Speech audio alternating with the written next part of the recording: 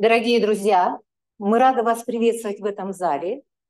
И э, я бы хотела, конечно, начать работу нашего круглого стола стоя. Потом, с вашего позволения, я присяду, потому что здесь не очень удобно пользоваться микрофоном в такой позиции. Итак, дорогие друзья, еще раз разрешите вас поприветствовать на работе круглого стола, посвященной э, русскому языку и преподаванию русского языка э, в зарубежье, в ближнем зарубежье. Итак, с вашего позволения я присяду, и мы с вами начнем. Модератором данной секции, которая называется у нас «Русский язык как иностранный в диалоге культур», буду я. Меня зовут Юлия Александровна. И с вашего позволения я расскажу о э, программе нашей работы сегодня – у нас с вами ожидается 15 выступлений. Из них 5 выступлений будут в дистанционном формате транслироваться, и 10 выступлений у нас будут очных, присутственных. Нас с вами ожидает очень интересная работа, однако я бы хотела обратиться ко всем спикерам э, с нижайшей просьбой. У нас есть лимит по времени – 8 минут. Давайте постараемся в эти временные лимиты уложиться. И так как выступлений у нас много, и все выступления будут чрезвычайно интересными, то э, по согласованию с организаторами после каждого выступления отводится 5 минут не только на вопросы, но и на комментарии, так как действительно выступления заинтересовывающие в тематике, иногда даже проблематичные, поэтому если будут комментарии, пожалуйста, э, вы вольны эти комментарии высказать. Итак, дорогие наши друзья, дорогие присутствующие, я э, работу нашего стола хотела бы начать с небольшой притчи. Жил да был когда-то русский язык, и жил он красиво, гордился своим богатством, изяществом форм, удивительным звучанием и было ему хорошо, так как русский язык нашел гостеприимные дома во многих странах. Он дружил и с родными языками в Казахстане, в Узбекистане, в Азербайджане. Его приветствовали в Армении, в Киргизии, и везде русский язык был другом. Но прошло время, и вдруг русский язык понял, что влияние его уже не такое, интерес к нему падает, и начал русский язык даже прибаливать. И задумался тогда русский язык, а что же делать в такой ситуации? И понял он, что самый лучший выход – это дружить с родными языками, и когда он вступил в регулярный диалог с родными языками, оказалось, что все друг друга понимают, что очень много объединяющего эти языки. И тогда русский язык принял определенные активности. Стали организовываться клубы по интересам, открываться центры образования. И самое главное, русский язык обратился к сфере образования и просвещения. И стали выпускаться новые учебники по русскому языку, создаваться детская литература на русском языке. И самое главное, открываться программы в вузах на русском языке. И снова наполнились э, сердца жителей других стран любовью к этому языку. И воспылала новая дружба. Вот такая маленькая притча с вашего разрешения открывает работу нашего круглого стола. Но самое главное это то, что притча разрешила мне сказать, о чем сегодня будут наши выступления. Очень многие выступления будут действительно посвящены образовательной литературе, Будут у нас выступления, связанные с сохранением позиции русского языка в различных странах. И, конечно же, а, будут у нас э, выступления, в которых будут рассмотрены перспективы дальнейшего э, влияние русского языка на развитие родных языков и наоборот. Итак, дорогие друзья, приступая к работе, разрешите предоставить слово для приветствия нашему гостю Эльвире Ринатовне Айткуловой, которая является депутатом, членом Комитета Государственной Думы по просвещению, но и самое главное, филолог, который имеет великолепное образование на русском языке. Прошу вас поприветствовать.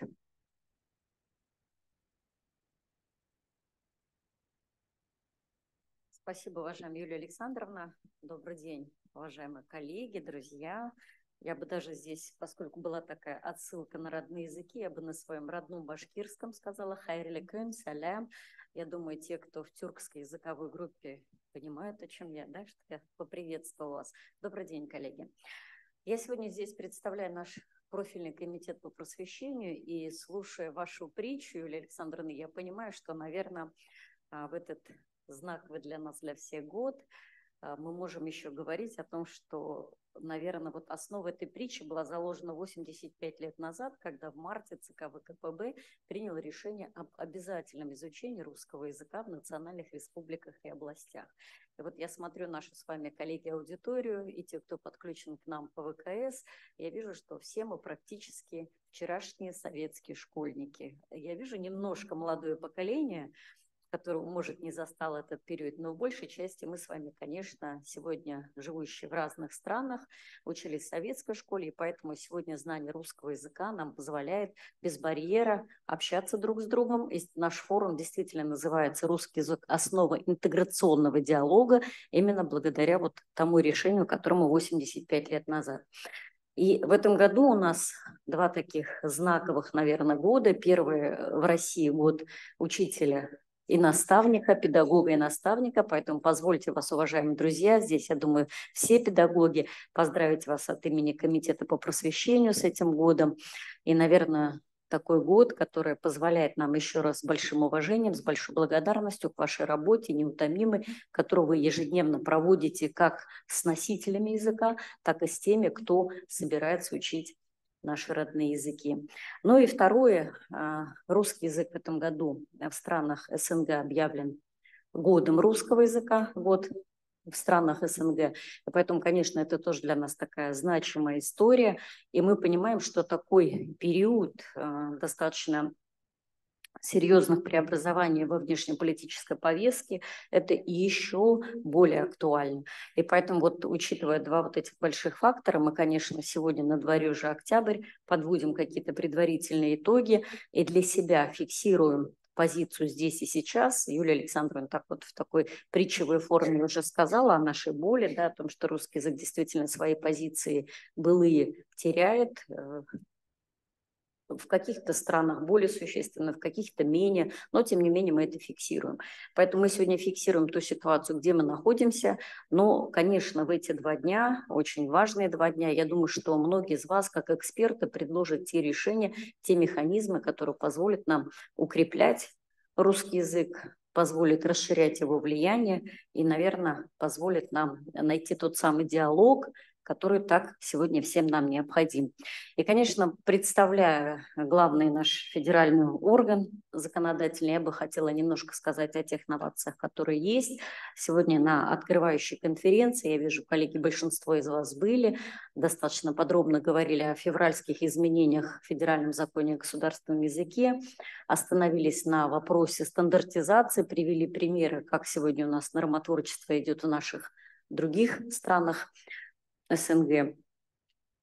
И буквально вот свежая новость, буквально на днях у нас коллеги внесли законопроект, который в публичном пространстве сегодня известен э, больше, наверное, как такой законопроект, который нам позволит очень оперативно избавиться от англицизмов. Да? То есть вы, наверное, видели эти громкие заголовки, что будут менять вывески, больше не будет фреша, будет свежевыжатый сок, больше не будет кейсов, а будут решения Поэтому вот он больше сегодня в публичном пространстве звучит именно как этот законопроект. Хотя, коллеги, если вы погрузитесь в него, посмотрите на сайте Государственной Думы, он у нас уже выложен, мы увидим, что там существенно акценты расставлены и на той теме, которую мы сегодня обсуждаем. Это на поддержку русского языка за пределами Российской Федерации. Если позволите, я несколько процитирую новации, о которых идет речь.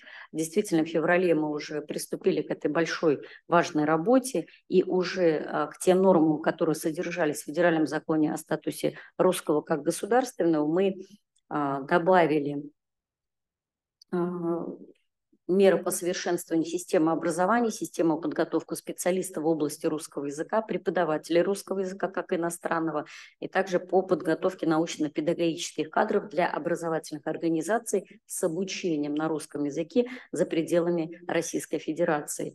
И вот к этой норме мы сегодня и усиливаем. Мы говорим, что необходимо обеспечить уже гарантию свободного доступа граждан Российской Федерации к изучению русского языка, создание условий для изучения русского языка иностранными гражданами и лицами без гражданствами на территории России, также за ее пределами, и также оказание поддержки нашим соотечественникам, проживающим за рубежом, в получении, распространении информации и пользовании информацией на русском языке на территории государств проживания проживания соотечественников. И также пункт 51 мы дополнили тем, что будет обеспечена гарантия свободного доступа, а, о чем я уже говорила. И также а, мы усиливая, именно гарантируя, понимаем, что вслед за нормой закона обязательно пойдут у нас и подзаконные акты на уровне правительства Российской Федерации с соответствующим финансированием. И также были а, предложены а, изменения, которые затронут законопроект «Основа законодательства Российской Федерации о культуре», поскольку мы понимаем, что а, русский язык это не только и не столько, наверное, образовательная история, это именно культурное наше наследие, духовное наше наследие. И вот в этом законопроекте у нас по 58 статье мы будем говорить о том, что оказывается поддержка соотечественникам, проживающим за рубежом, сохранение общероссийской гражданской культурной и языковой идентичности, связи с исторической родиной, а также меру по содействию развитию российской культуры за рубежом, дополняем э, статьей о укреплении позиции русского языка и распространении российской культуры культуры в мире. То есть вот такие э, существенные корректировки, я думаю, что законопроект мы начали, только начинаем рассматривать, а, вызовут, наверное, дискуссию со знаком плюс, и будут еще какие-то дополненные меры, потому что сегодня мы понимаем, что существующая, наверное, поддержка может не в той полной мере отражать тот запрос, который сегодня у нас есть в странах СНГ. Это касается э, и методического сопровождения, где-то, наверное, большей части и финансовых каких-то э, вопросов, которые необходимы для того, чтобы нам все-таки укреплять эту историю. Ну и представляя в Государственной Думе национальный субъект Российской Федерации, Республику Башкортостан, хочу сказать, что мы сегодня, наверное, более активно должны использовать и наши общие языковые корни, а, особенно с теми а, регионами, где вот э, тюркоязычными, с чего я начинала, да, допустим, а, башкирский язык, э, ну, наверное, максимально близко да, похож на казахский, киргизский, узбекский. И, конечно, наши диаспоры, которые проживают сегодня в этих странах, они являются башкирами этническими, но в первую очередь это э, представители российских интересов, носители русского языка, и в этих странах они, конечно, общаются на русском языке. Вот как раз эти диаспоры могли бы быть той точкой входа и, наверное, где-то масштабирования наших практик, в том числе общественных организаций по поддержке и продвижению русского языка. Поэтому, уважаемые коллеги, у нас сегодня на повестке очень большой круг вопросов. Я вот увидела Елизавета Александровна доклад по поводу стандартизации сертификации русского языка. Это тоже чрезвычайно большой и важный вопрос, который, наверное, а, требует такой активной поддержки на законодательном уровне. Я думаю, что это тоже случится, потому что сегодня тот самый период, когда мы уже, наверное, активно все, что многие годы обсуждали, уже должны внедрять в ежедневную повестку. Поэтому позвольте, коллеги, пожелать вам успехов, в работе, очень такого продуктивного обсуждения, результатом которым, конечно, будет диалог культур, диалог языков и диалог между нашими народами. Спасибо большое. разрешите поблагодарить от э, нашего имени Эльвиру Ринатовну не только за выступление приветственное слово, глубокое, удивительно проникновенное, но и за ту огромную деятельность, которая проводится вами и вашими коллегами, и которая направлена на поддержание русского языка в том числе. Спасибо вам большое. Дорогие друзья, прежде чем перейти к первому выступлению, я бы хотела, чтобы вы поприветствовали еще один наш президиум. Представители депутатского корпуса нашли время для того, чтобы прийти и поприсутствовать на нашем круглом столе. Прошу их поприветствовать. Азербайджан, Узбекистан, наши большие друзья. Э, мы очень рады вам.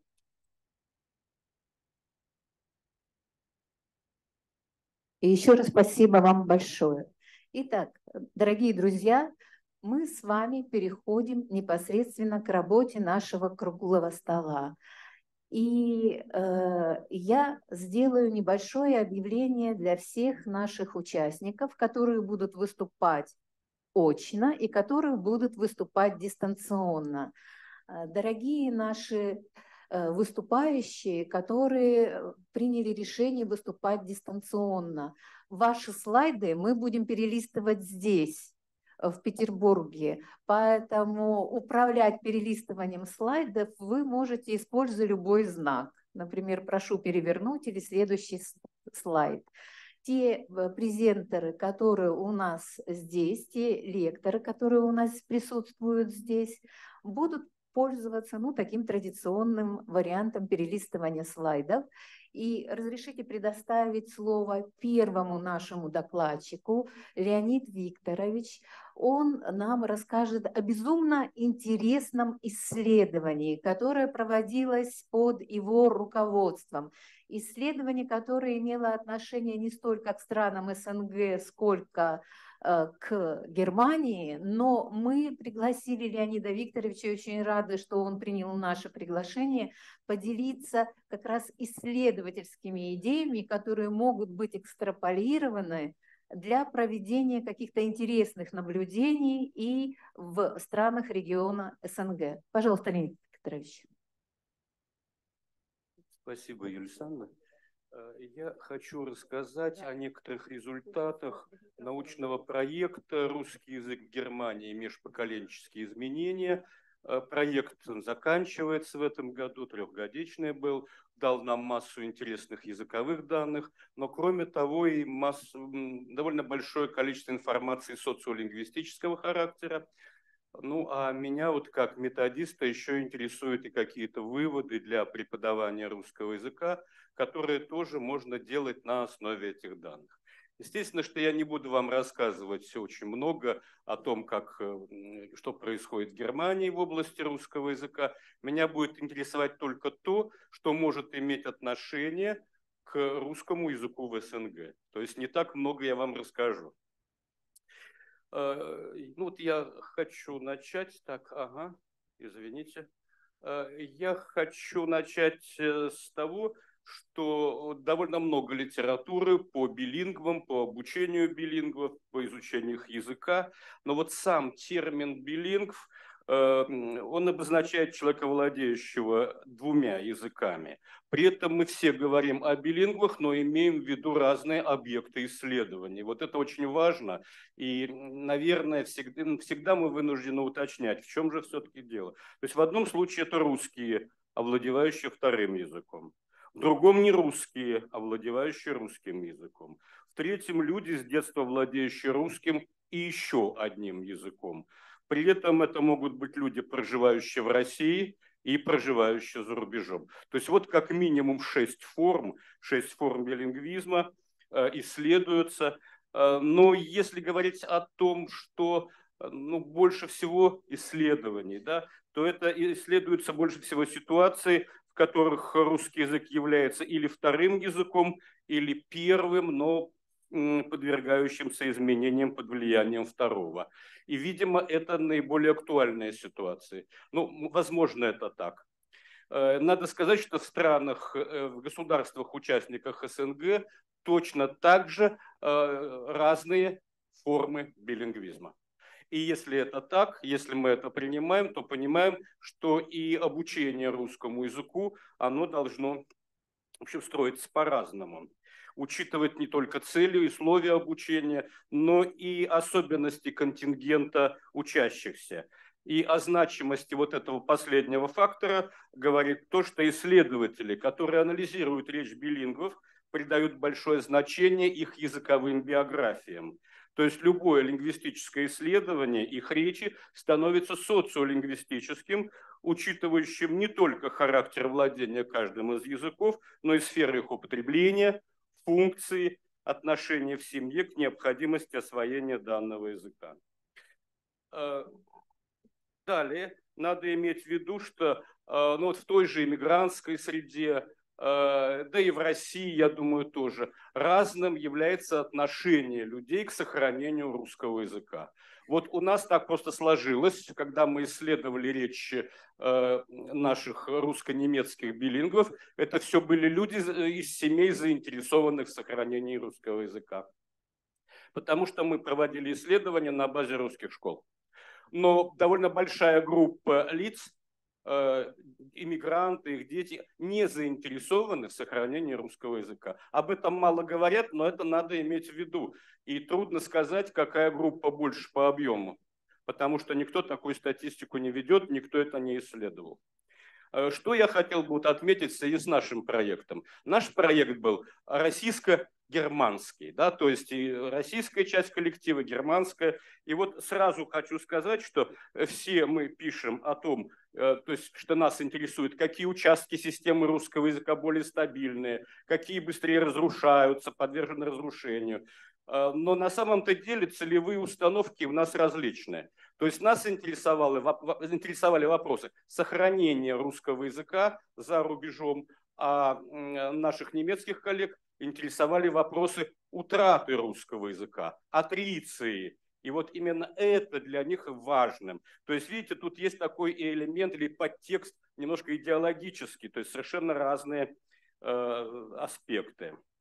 Ну и э, третье, что я хотел сказать, э, хотел сказать о том, что речь иммигрантов, которые стремятся сохранить русский язык, э, также неоднородна. Мы исследовали и речь детей, и речь родителей. Всего обследовали 20 семей. Из них в пяти семьях, эм, а это 25%, то есть каждая четвертая семья, Э, мы обнаружили, что практически нет отклонений от норм литературного языка. Э, есть некоторые элементы влияния, но они незначительны. Влияние немецкого языка, они незначительные. 15 э, семей, то есть это 75%, говорят не на литературном языке, а на просторечии. То есть это значит, что вот в семьях, в одних семьях культивируется литературный язык, а в других средством общения является русское просторечие, или, ну, оно разное. Э, это в том числе и украинское. То есть э, а, говорят на русском языке, но выходцы с Украины, эм, они говорят на суржике, да, э, но они считают, что они говорят на русском языке, их прекрасно понимают и так далее. Но надо иметь в виду, что именно вот эта вот вторая группа, она, там, в общем-то, больше всего идут эти процессы атриции, утраты родного языка под влиянием немецкого. И это тоже надо учитывать при обучении этих учащихся э, в школах. Ну вот я мог бы приводить примеры, э, лингвистические примеры случаев атриции, но я думаю, что сейчас это не так важно. Э, главное, я сказал, вот эти вот тенденции, которые точно так же отражаются и в языковой ситуации в государствах-участниках СНГ. И если мы говорим еще, думаем еще и об обучении, да, мы должны учитывать, насколько разный этот контингент, и мы должны по-разному относиться к тому, что вот они усваивают язык, как они усваивают. Кому-то легче, кому-то сложнее, ну и так далее. Я на этом хочу завершить свое выступление. Если будут вопросы, я отвечу, а если нет, я передам, э, передам э, уже вот микрофон коллеге Юлии Михайловне. Да.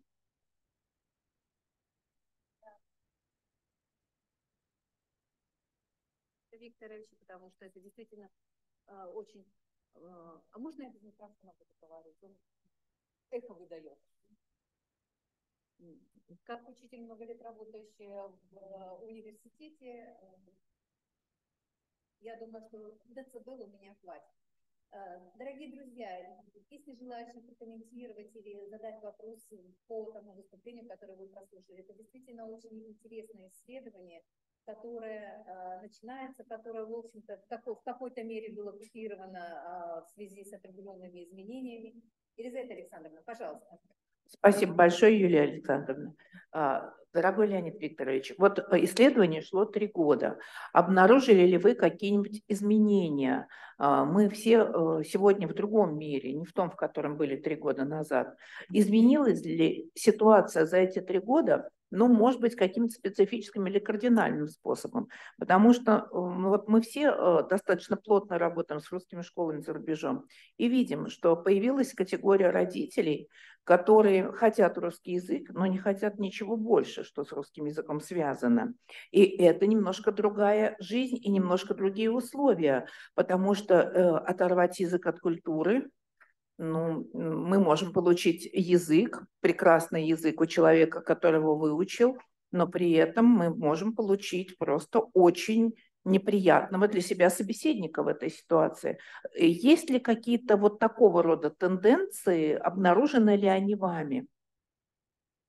Татьяна, э, спасибо за вопрос. Ну, я хочу сказать, что действительно все наши информанты, они все разные. И когда я говорю, что они хотят сохранить язык, это не значит, что они все хотят вот, э, ну, действительно использовать ее с разными целями. Тем не менее, сам факт того, что они сохранят, э, хотят сохранить русский язык, он тоже о многом говорит.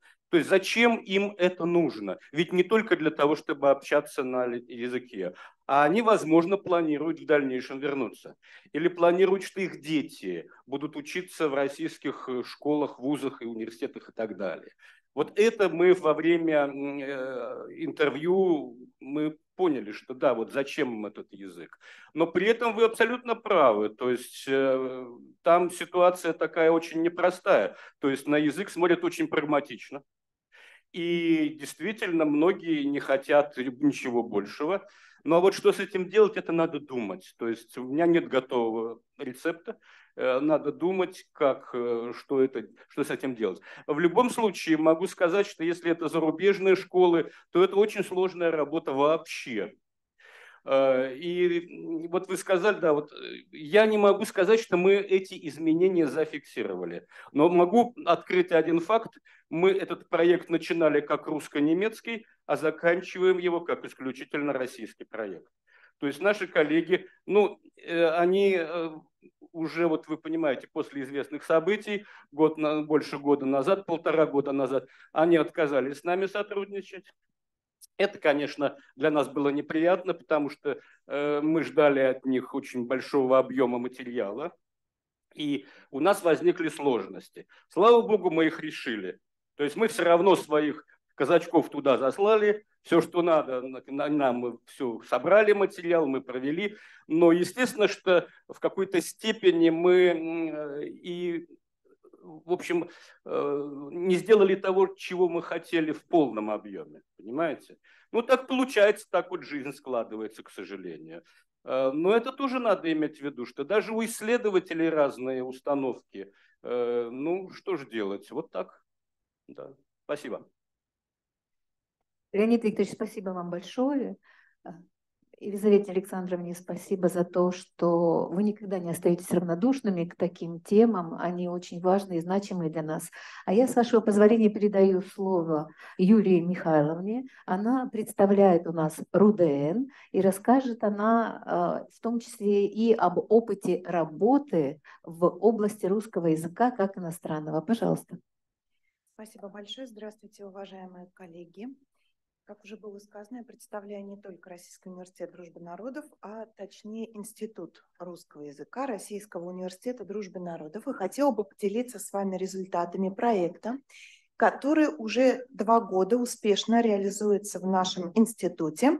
Проект называется «Русский на перекрестке культур». Он проводится, проходит при поддержке Министерства науки и высшего образования Российской Федерации. Про... На данный момент результатами этого проекта стало издание двух учебно-методических пособий, которые так и называются «Русские на перекрестке культур». Первое пособие XIX века посвящено историческим деятелям XIX века. И э, второе пособие в него представители XX и XXI века. Проект будет продолжен также и в следующем году. Мы планировали а, фокус внимания направить на представителей XVIII века. В чем этот проект у нас заключается?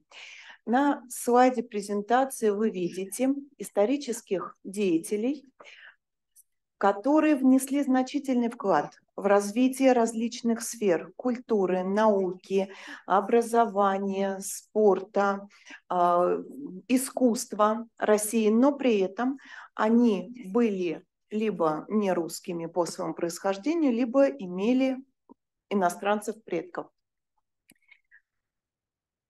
Это служило такое обязательное присутствие родственников не русских служило критерием отбора исторических деятелей для нашего проекта. В пособии информация о выдающихся деятелях представлена по следующим рубрикам. Обязательно была краткая биография, более подробный акцент делался на основные достижения, которые были сделаны данной исторической личностью, проводилась связь с другими странами и культурами, обозначалось, какие объекты существуют в 21 веке, объекты, посвященные исторической личности, сохранившие память о ней. Далее у нас были афоризмы, цитаты этой исторической личности, ссылки на дополнительные материалы, а также задания и упражнения, направленные на отработку лексических и грамматических материалов. Кроме того, в пособие вошли задания лингвостроноведческого характера. Отрисовано это пособие было иностранным обучающимся с уровнем владения не ниже B1, а лучше B1+. Э, также по нему занимались обучающиеся нашего университета из стран СНГ примеры на данном слайде, хотели бы показать вам, как выглядит это пособие внутри. То есть мы не делали акцент на биографию исторических деятелей, потому что это факты, которые можно легко найти в интернете. А, нас интересовали достижения, а, достижения данной исторической личности. И при разработке заданий мы старались максимально отойти от традиционных форм подачи материала сделать наши задания интерактивными, для того, чтобы все обучающиеся были вовлечены в дискуссию, для того, чтобы им хотелось поговорить, обсудить и ту историческую личность, о которой мы рассказали на занятии, и затем провести параллель со своей родной культурой. Следует отметить, что в наших учебных, учебно-методических пособиях обязательным заданием было следующее. Заполните ленту времени и проведите параллель между историческими деятелями, а, которые жили, трудились в России и представителями ваших национальных культур. То есть мы переходили от изучения материала к непосредственному интерактиву, к дискуссии и к обсуждению. Наши обучающиеся, мы давали им время, они к следующим занятиям готовили проекты, презентации, где рассказывали о выдающихся исторических деятелях, которые либо также были иностранцами по происхождению, либо являются представителями национальных культур студентов, но сделали, внесли значительный вклад в развитие чужой страны. И чтобы не выходить за рамки регламента, а, подведем уже сразу итог. Скажем, что подобные задания и вообще подобные проекты в целом расширяют кругозор и российских, и иностранных студентов, способствуют взаимному обогащению в культурном плане, повышают гуманизацию образования в целом, а также служат развитию взаимно уважительного отношения между носителями разных языков и культур. Благодарим вас за внимание, уважаемые коллеги, и готовы ответить на вопросы. Юлия Михайловна, спасибо вам особое за регламент. А, я понимаю, что, наверное, привычка быть отличницей, она сохраняется всю жизнь. Итак, дорогие друзья, если вопросов нет, то разрешите передать слово нашей гости, которая приехала из Казахстана, Наталья Владимировна. Наталья Владимировна возглавляет э, издательский дом, поэтому то, что касается литературы на русском языке, это, собственно говоря, ее жизнь, ее работа и то, в чем она является большим-большим профессионалом. Наталья Владимировна, пожалуйста.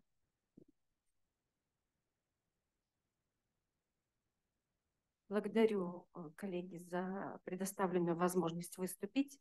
А, мой доклад называется «Учебная литература на русском языке в образовательном пространстве Казахстана». Но я внимательно изучила все, что было в программе, и поняла, что эту конференцию волнует очень большой спектр вопросов. Поэтому я хотела бы начать вот а, сначала показать каков статус русского языка именно а, в Республике Казахстан. Седьмая статья Конституции говорит, что, конечно же, казахский язык является государственным, но в то же время имеется вторая статья, которая говорит, что в государственных организациях и органах местного самоуправления наравне с казахским официально употребляется русский язык. И третье – это государство заботится о создании условий для изучения и развития всех языков народа Казахстана. В 19 статье также сказано, обратите внимание на второй пункт, что каждый имеет право на пользование родным языком и культурой, на свободный выбор языка общения, воспитания – обучение и творчество. Также обращаю внимание на в 19 статье сказано, что каждый гражданин Республики Казахстан а, имеет право а, указать, либо не указать свою национальную принадлежность. Вот перед вами мой паспорт гражданки Казахстана. И а, я изъявила желание указать, что я русская, и если гражданин Республики Казахстан не захочет, в паспорте не укажут национальность. В этой же 19 статье сказано, что каждый имеет право на пользование родным языком э, языком и культурой. Вот на кадрах вы видите, что вывески у нас на двух языках. И а, эти вывески повсюду. Имеется в Республике Казахстан также закон, он так и называется, о языках в Республике Казахстан.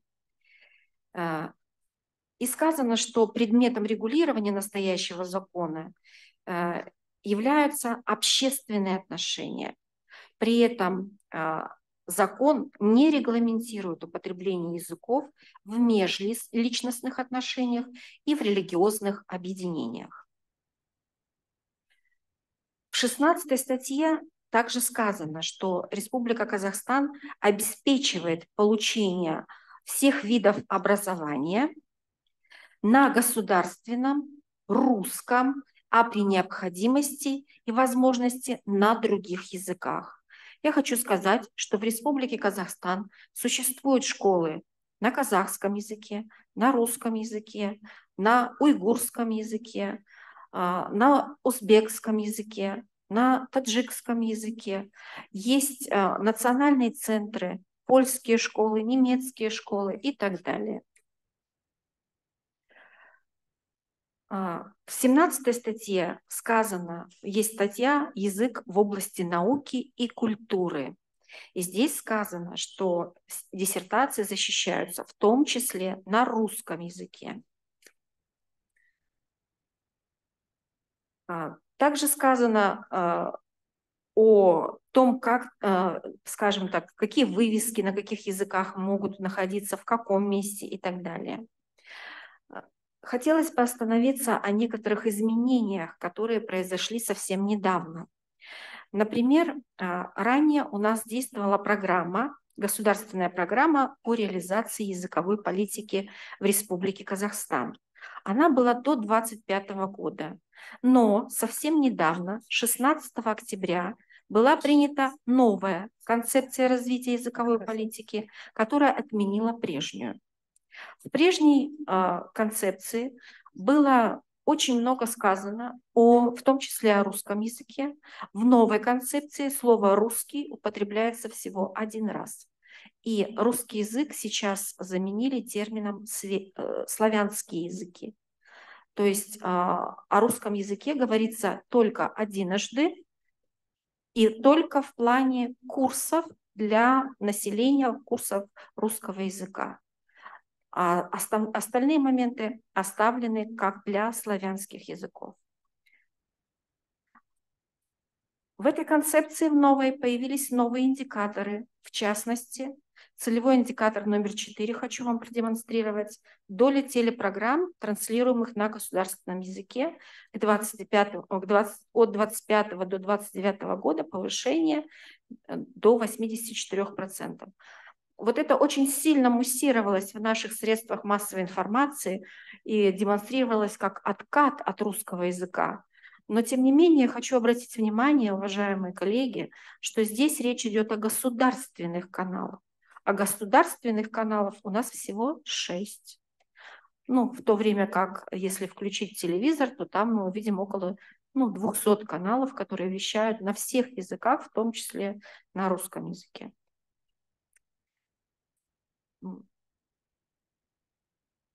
Так, у меня не переключается. Здесь э, приводятся данные по количеству школ вы видите, что у нас 7393 а, школы. Из них а, приблизительно одна треть – это школы с русским языком обучения. А, то есть приблизительно 1 миллион детей учатся на русском языке. Всего, да, всего около 3 миллионов детей, из них одна треть – это дети, которые обучаются на русском языке.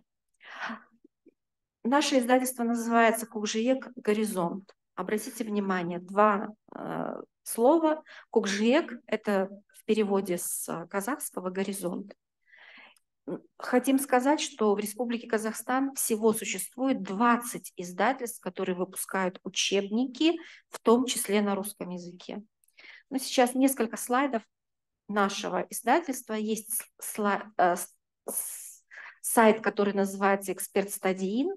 И э, если у вас есть желание, вы можете э, сфотографировать эту ссылку. И там есть все э, книги нашего издательства, которые можно просто полистать.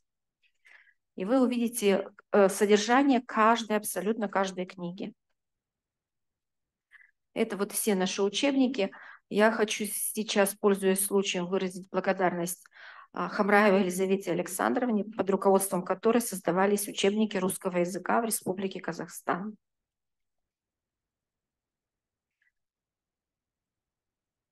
Это вот все учебники наши. А, кроме того, мы выпускаем учебники на русском языке по другим предметам. Например, у нас есть такой знаменитый предмет, который называется «Основы предпринимательства и бизнеса».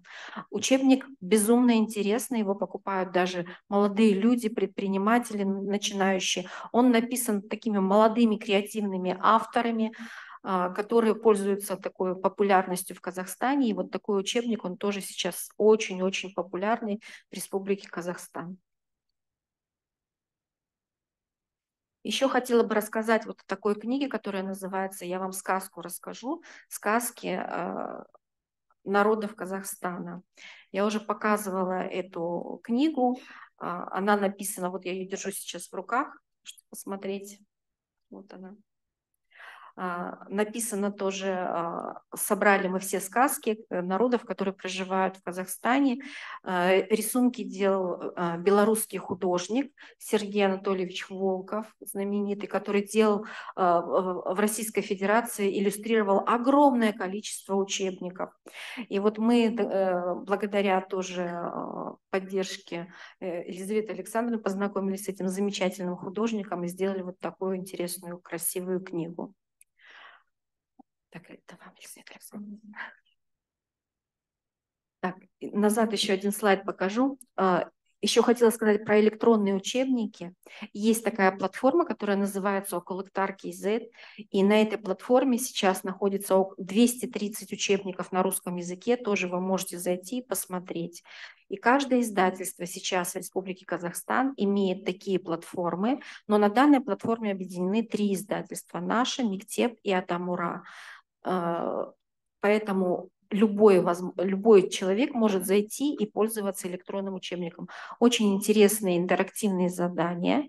А, сейчас без электронного учебника на экспертизу бумажный учебник у нас в стране не принимают. То есть наличие электронного учебника – это обязательное условие приема на экспертизу. То есть без него невозможно, ну, скажем так, попасть в тот самый, в тот самый перечень, который рекомендует э, Министерство просвещения. Я прошу прощения, торопилась, волновалась. Всем большое спасибо за внимание.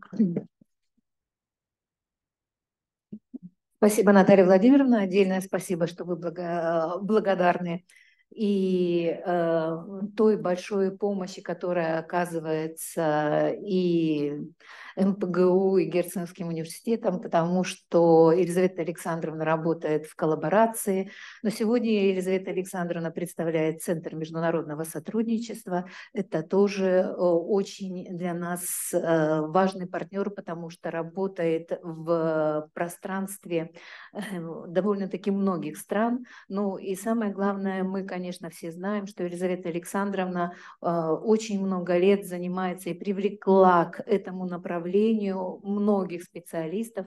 Занимается она сертификацией русского языка в школе, это чрезвычайно важная для нас тема, потому что есть совершенно роскошный опыт языкового европейского портфеля, а вот с русским языком пока мы не пришли к законодательному устойчивому пониманию, что же такое а, уровни владения языком в а, русском как иностранном, в русском как неродном. Елизавета Александровна, пожалуйста, вам слово. Спасибо большое, уважаемая Юлия Александровна.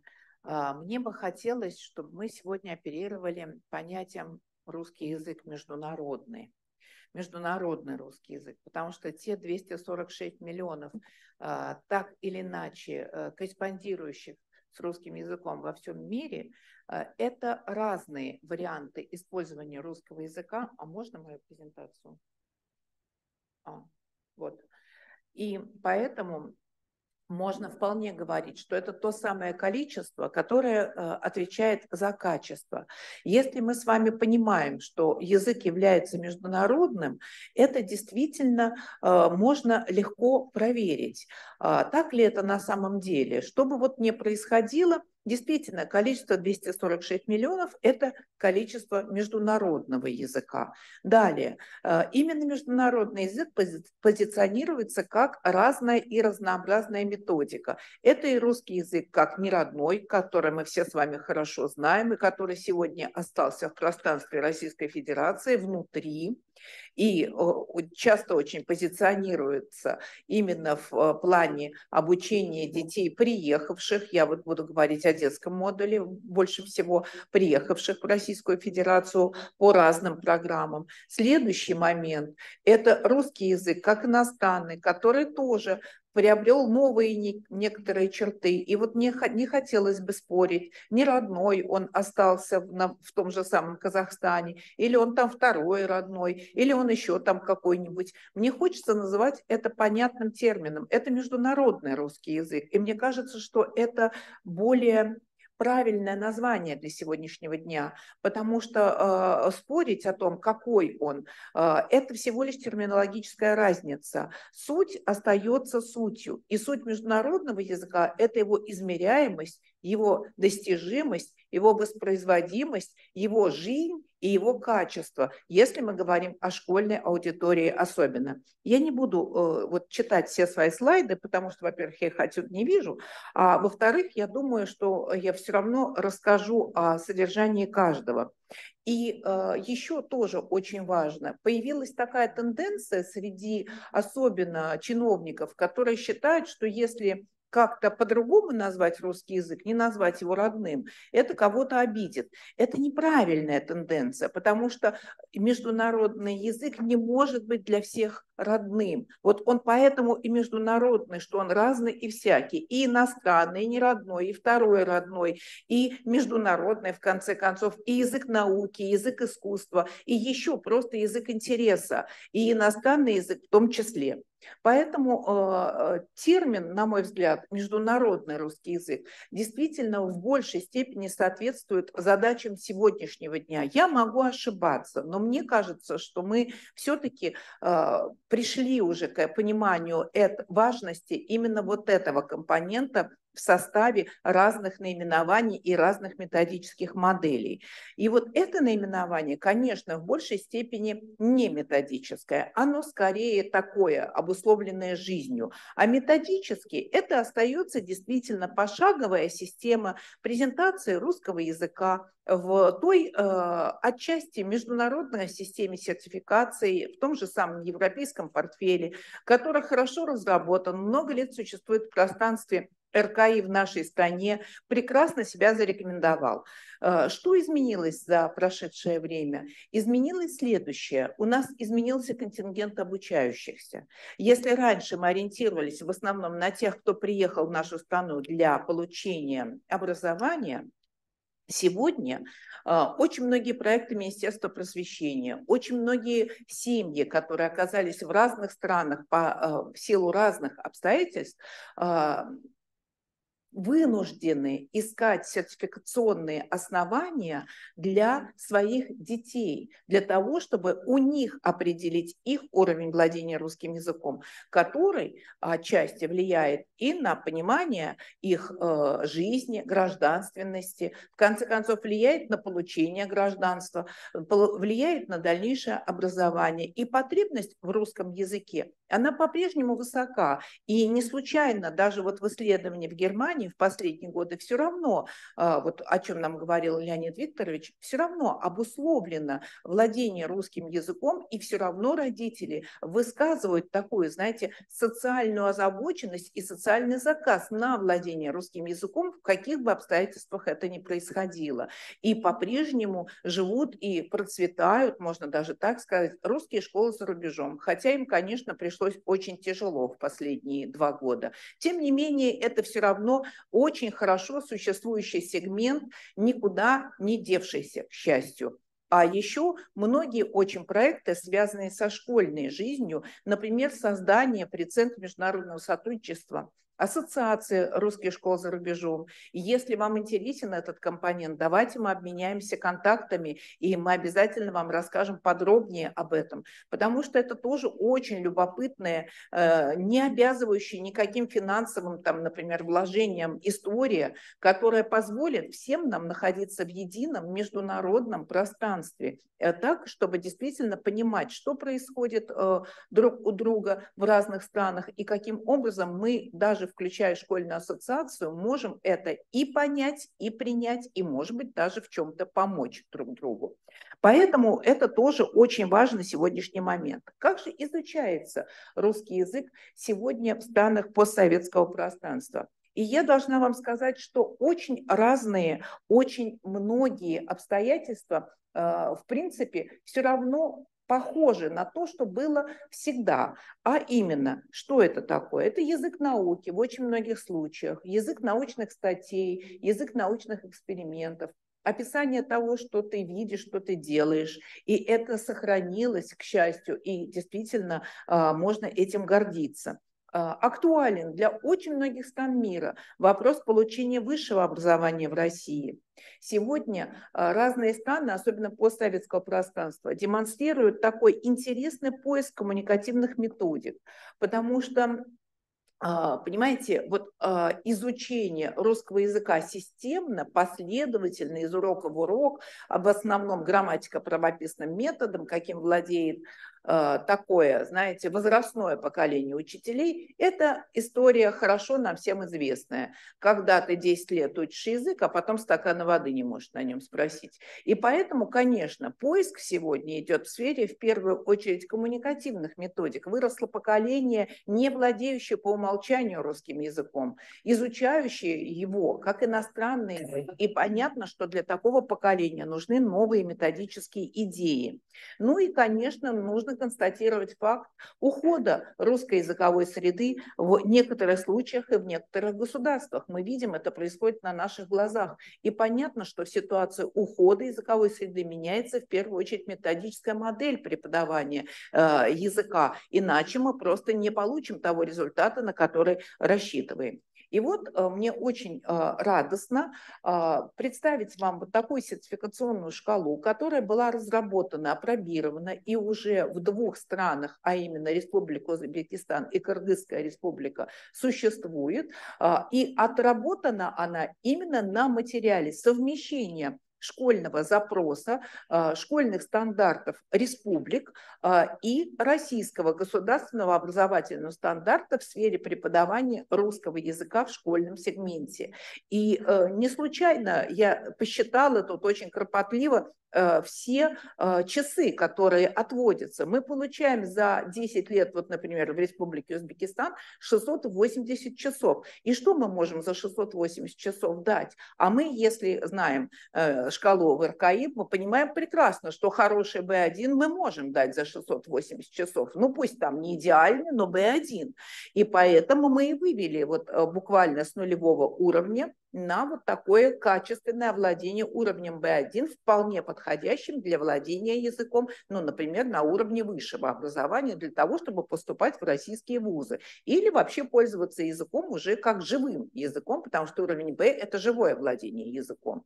Вот так выглядит школьная линия, линейка, и сегодня вы о ней еще услышите. У нас есть спикеры, которые будут выступать а, а, и говорить об этом. Что в ней нового? В ней новое. И подача материала, и самое главное, вот та самая пошаговая сертификация, которая после Республики Казахстан, где была 10 э, лет назад, наверное, чуть больше, осуществлена впервые, пришла в Республику Узбекистан и заняла все пространство школьной линейки от второго класса, где начинает изучаться русский язык, до 11 класса. Это большой проект, в котором участвовал Российский государственный педагогический университет имени Герцена. Это проект «Класс», связан с ним отчасти Алишер Усманова, который фонд э, э, повлиял, поучаствовал в этом во всем. То есть проект был максимально интересный, громкий, очень любопытный и давший действительно очень интересные плоды, потому что в первую очередь Министерство просвещения было заинтересовано в этом проекте, финансировало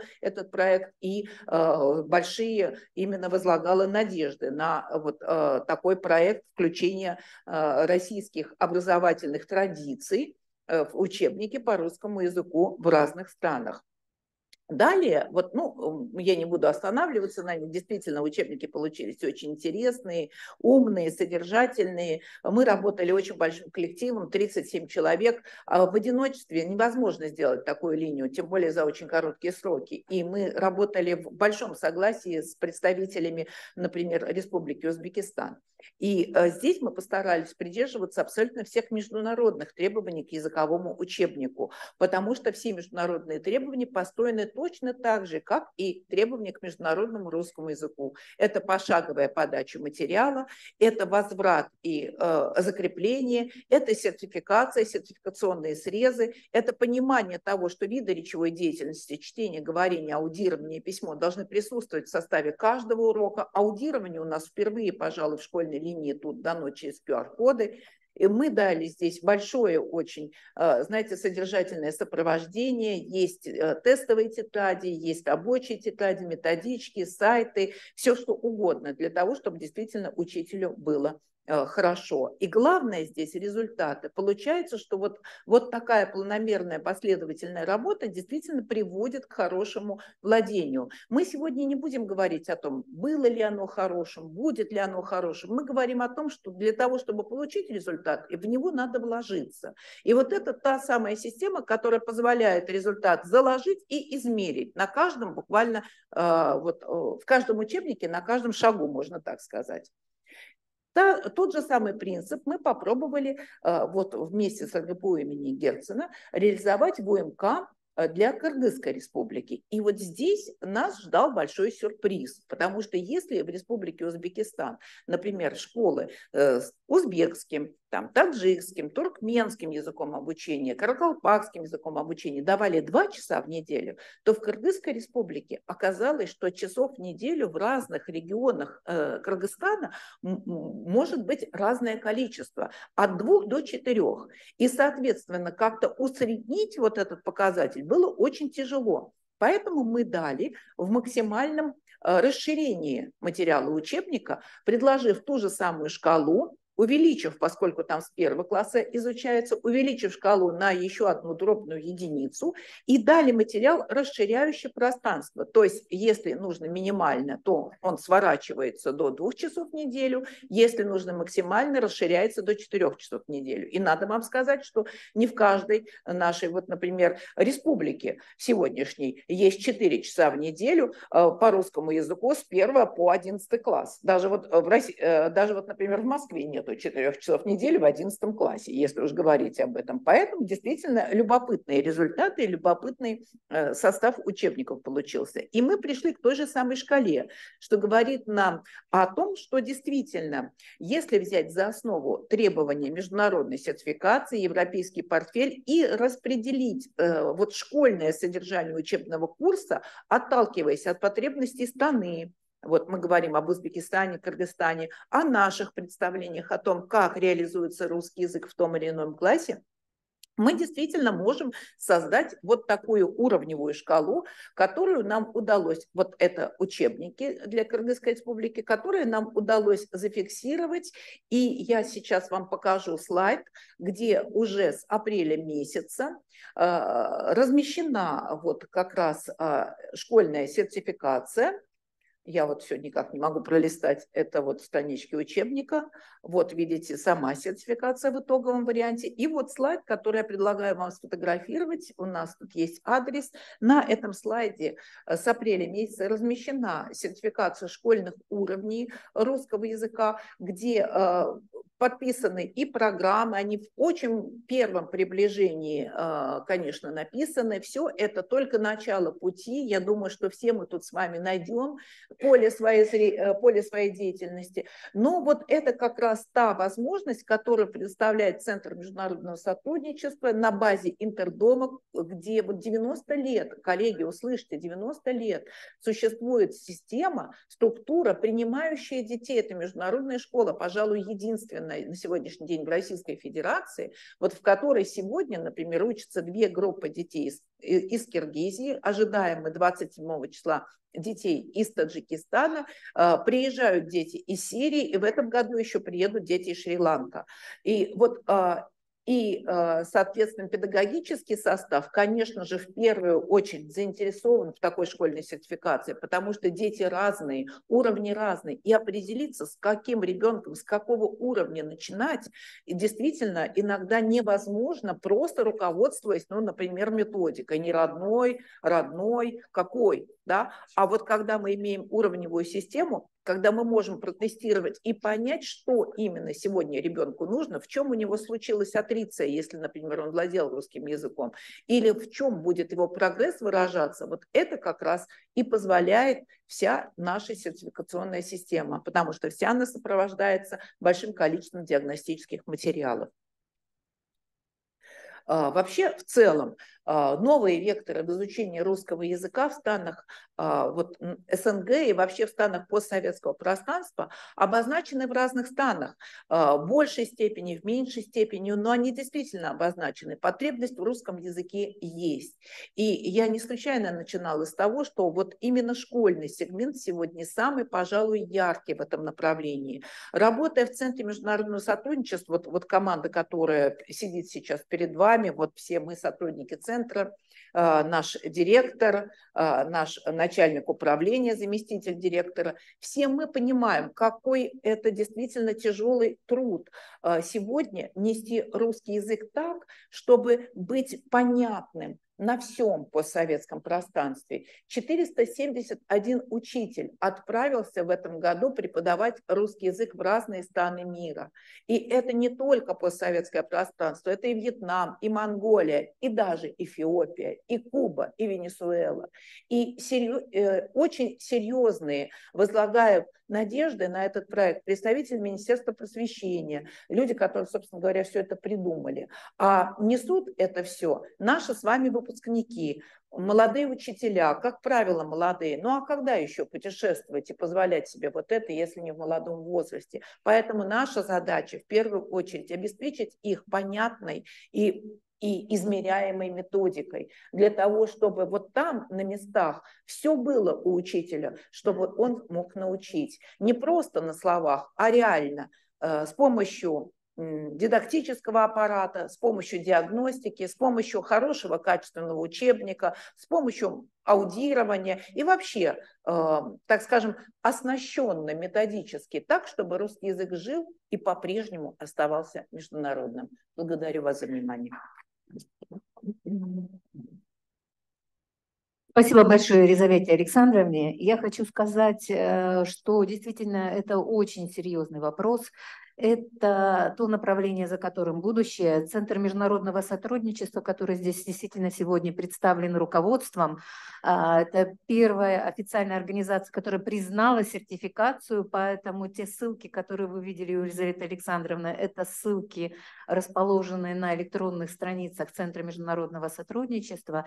И э, учителя, выезжающие, наши российские учителя, выезжающие преподавать русский язык за рубежом, уже ориентируются на эту сертификацию.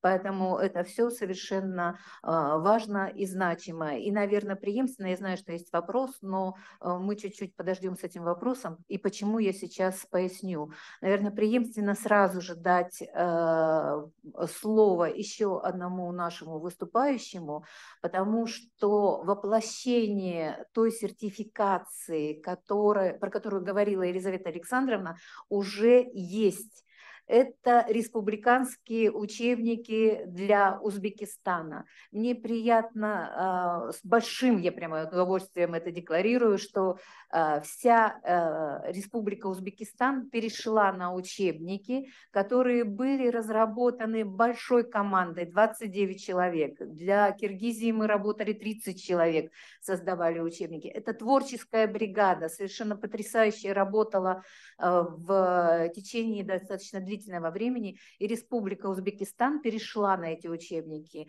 Мне, не знаю, повезло в жизни, и я была координатором с российской стороны при создании этих учебников. Научный руководитель сидит перед вами, она только что сейчас выступала. А, а мы предоставим слово координатору с узбекистанской стороны Барно Байдулаевна. Пожалуйста, Барно Байдулаевна у нас представляет Республиканский центр образования при Министерстве дошкольного и школьного образования. Когда мы начинали сотрудничество это было еще Министерство народного образования. Нам чрезвычайно помогал замминистра, и сейчас он поддерживает внедрение наших учебников. Это Шариф Хаджаев Усман Ульфатович. Ему тоже такое заочное, но большое спасибо. А, Барно Бадыларны, пожалуйста, вам слово. Спасибо. Здравствуйте, уважаемые коллеги. Я рада всех приветствовать, хоть онлайном, но очень даже приятно. А, Юлия Александровна, вам выражаю огромную благодарность за то, что пригласили принять участие в такой международной конференции. А, это уже не впервой, поэтому мне очень даже приятно всегда с вами и сотрудничать, и принимать участие в конференции. Да, коллеги, а, я очень внимательно, также и вы очень внимательно слушали Елизавету Александровну Хамбраеву. Она подробно почти рассказала уже об наших учебниках. И если так, получается, Сейчас я поделюсь а, презентацией. Да. Как уже всем уже было понятно, что в, в рамках проекта «Класс ЗОР», а, значит, в тандеме с российскими коллегами мы создали учебно-методический комплекс а, со 2 по 11 классы. И хочу сказать, что в Республике Узбекистан обучение ведутся на семи языках. Это значит русский, узбекский, казахский, киргизский, таджикский, туркменский, каракалпакский, а, и, э, так, и таджикский я сказала, вот, и казахские языки, да, вот семь языков. У нас получается как? Значит, школа с русским языком обучения пока, пока русский язык считается как родным, но хотя контингент не составляет полностью носителей языка. А вот в школах с узбекским э, языком обучения и другим языком обучения, конечно же, русский язык мы уже приняли считать его как иностранный. И внедрили методику преподавания РКИ именно при изучении русского языка. И, значит, в рамках проекта класса по созданию нового учебного методического комплекса Министерства просвещения Российской Федерации э, был реализован проект с Республиканским центром образования. Сейчас он называется Министерство дошкольного и школьного образования. В то время было, как сказала Юлия Александровна, Министерство народного образования. Да, действительно, тогда у нас был экс-министр Шазат Хатам Шарматов, ему тоже огромная благодарность, всегда нас поддерживал. И также первый замминистр а, Усман Ильфатович Шарфхаджаев, который всегда нам готов помочь. А, и, значит, для чего это все было? Как бы это направлено на, конечно же, повышение качества преподавания русского языка и общего образования на русском языке в школах Республики Узбекистан.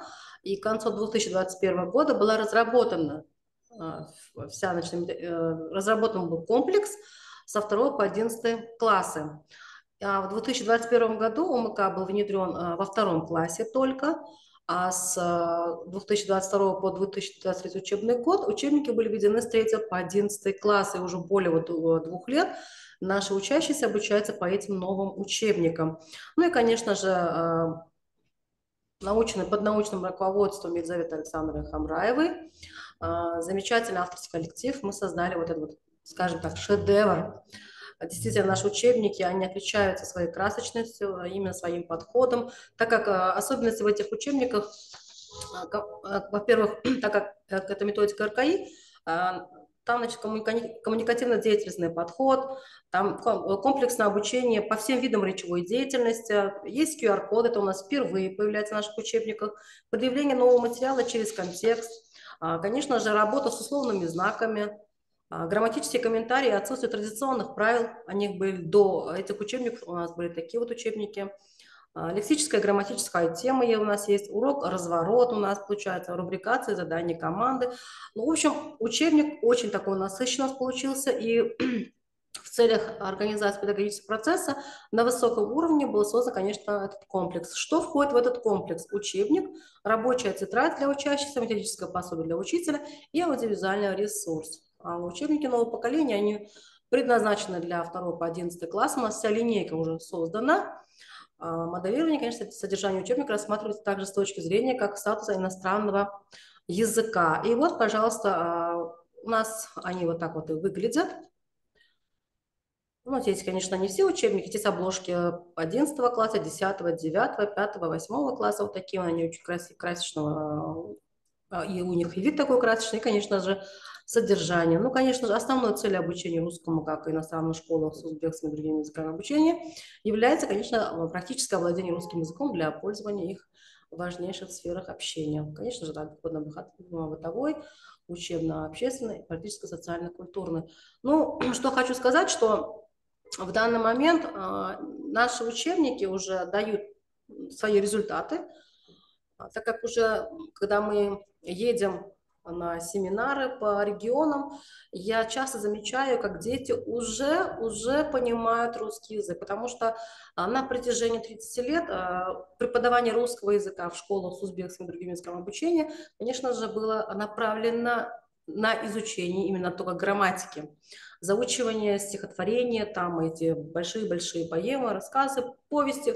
Но как бы для носитель языка был контент такой, поэтому как бы э, учащиеся, которые обучаются в узбекских школах и в других языках обучения, э, начали уже э, не интересоваться, скажем, данным предметом. И вот уже более двух лет они уже обучаются по новым учебникам и по новой методике. Конечно же, это им очень нравится. Ну, конечно же, мы сейчас проводим и вебинары, и семинары для преподавателей, так как у нас учителя еще не все знакомы с этой методикой РКИ.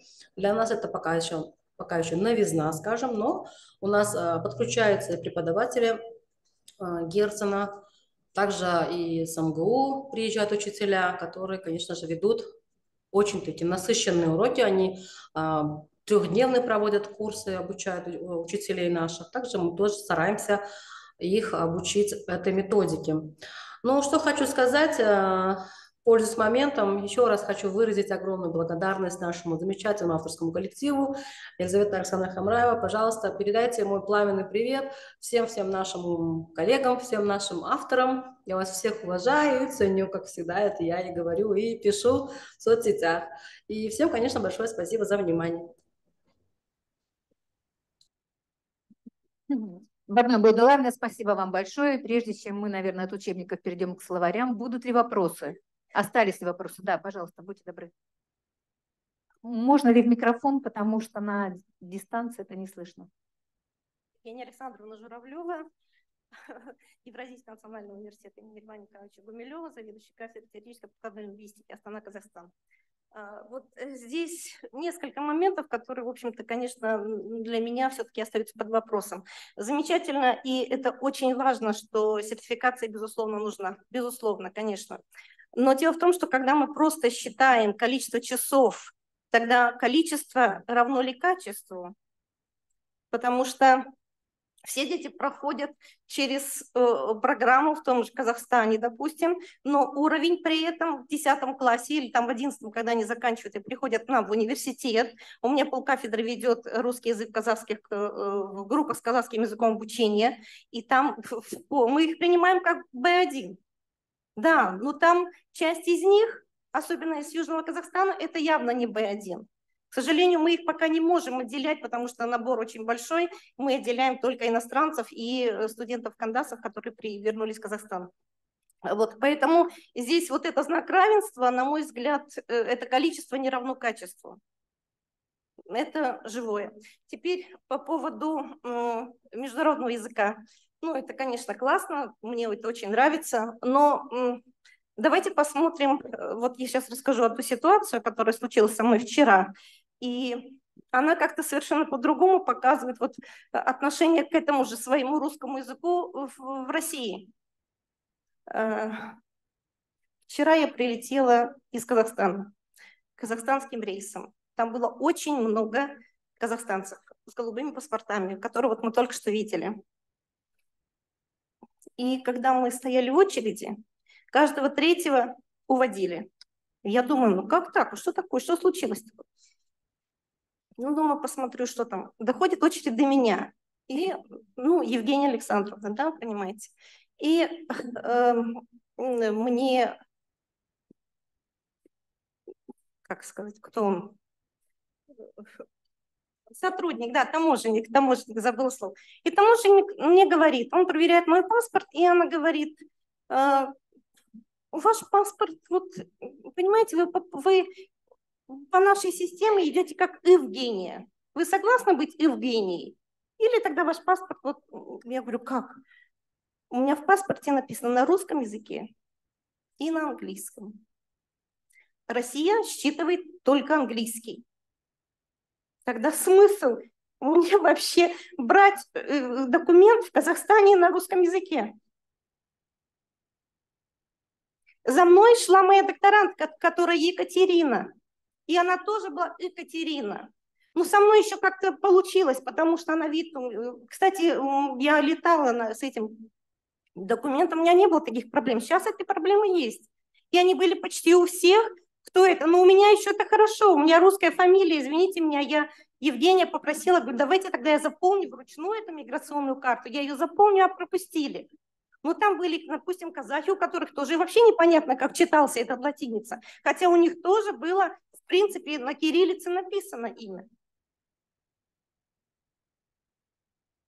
Я не знаю, как с этим тогда быть. Второй момент.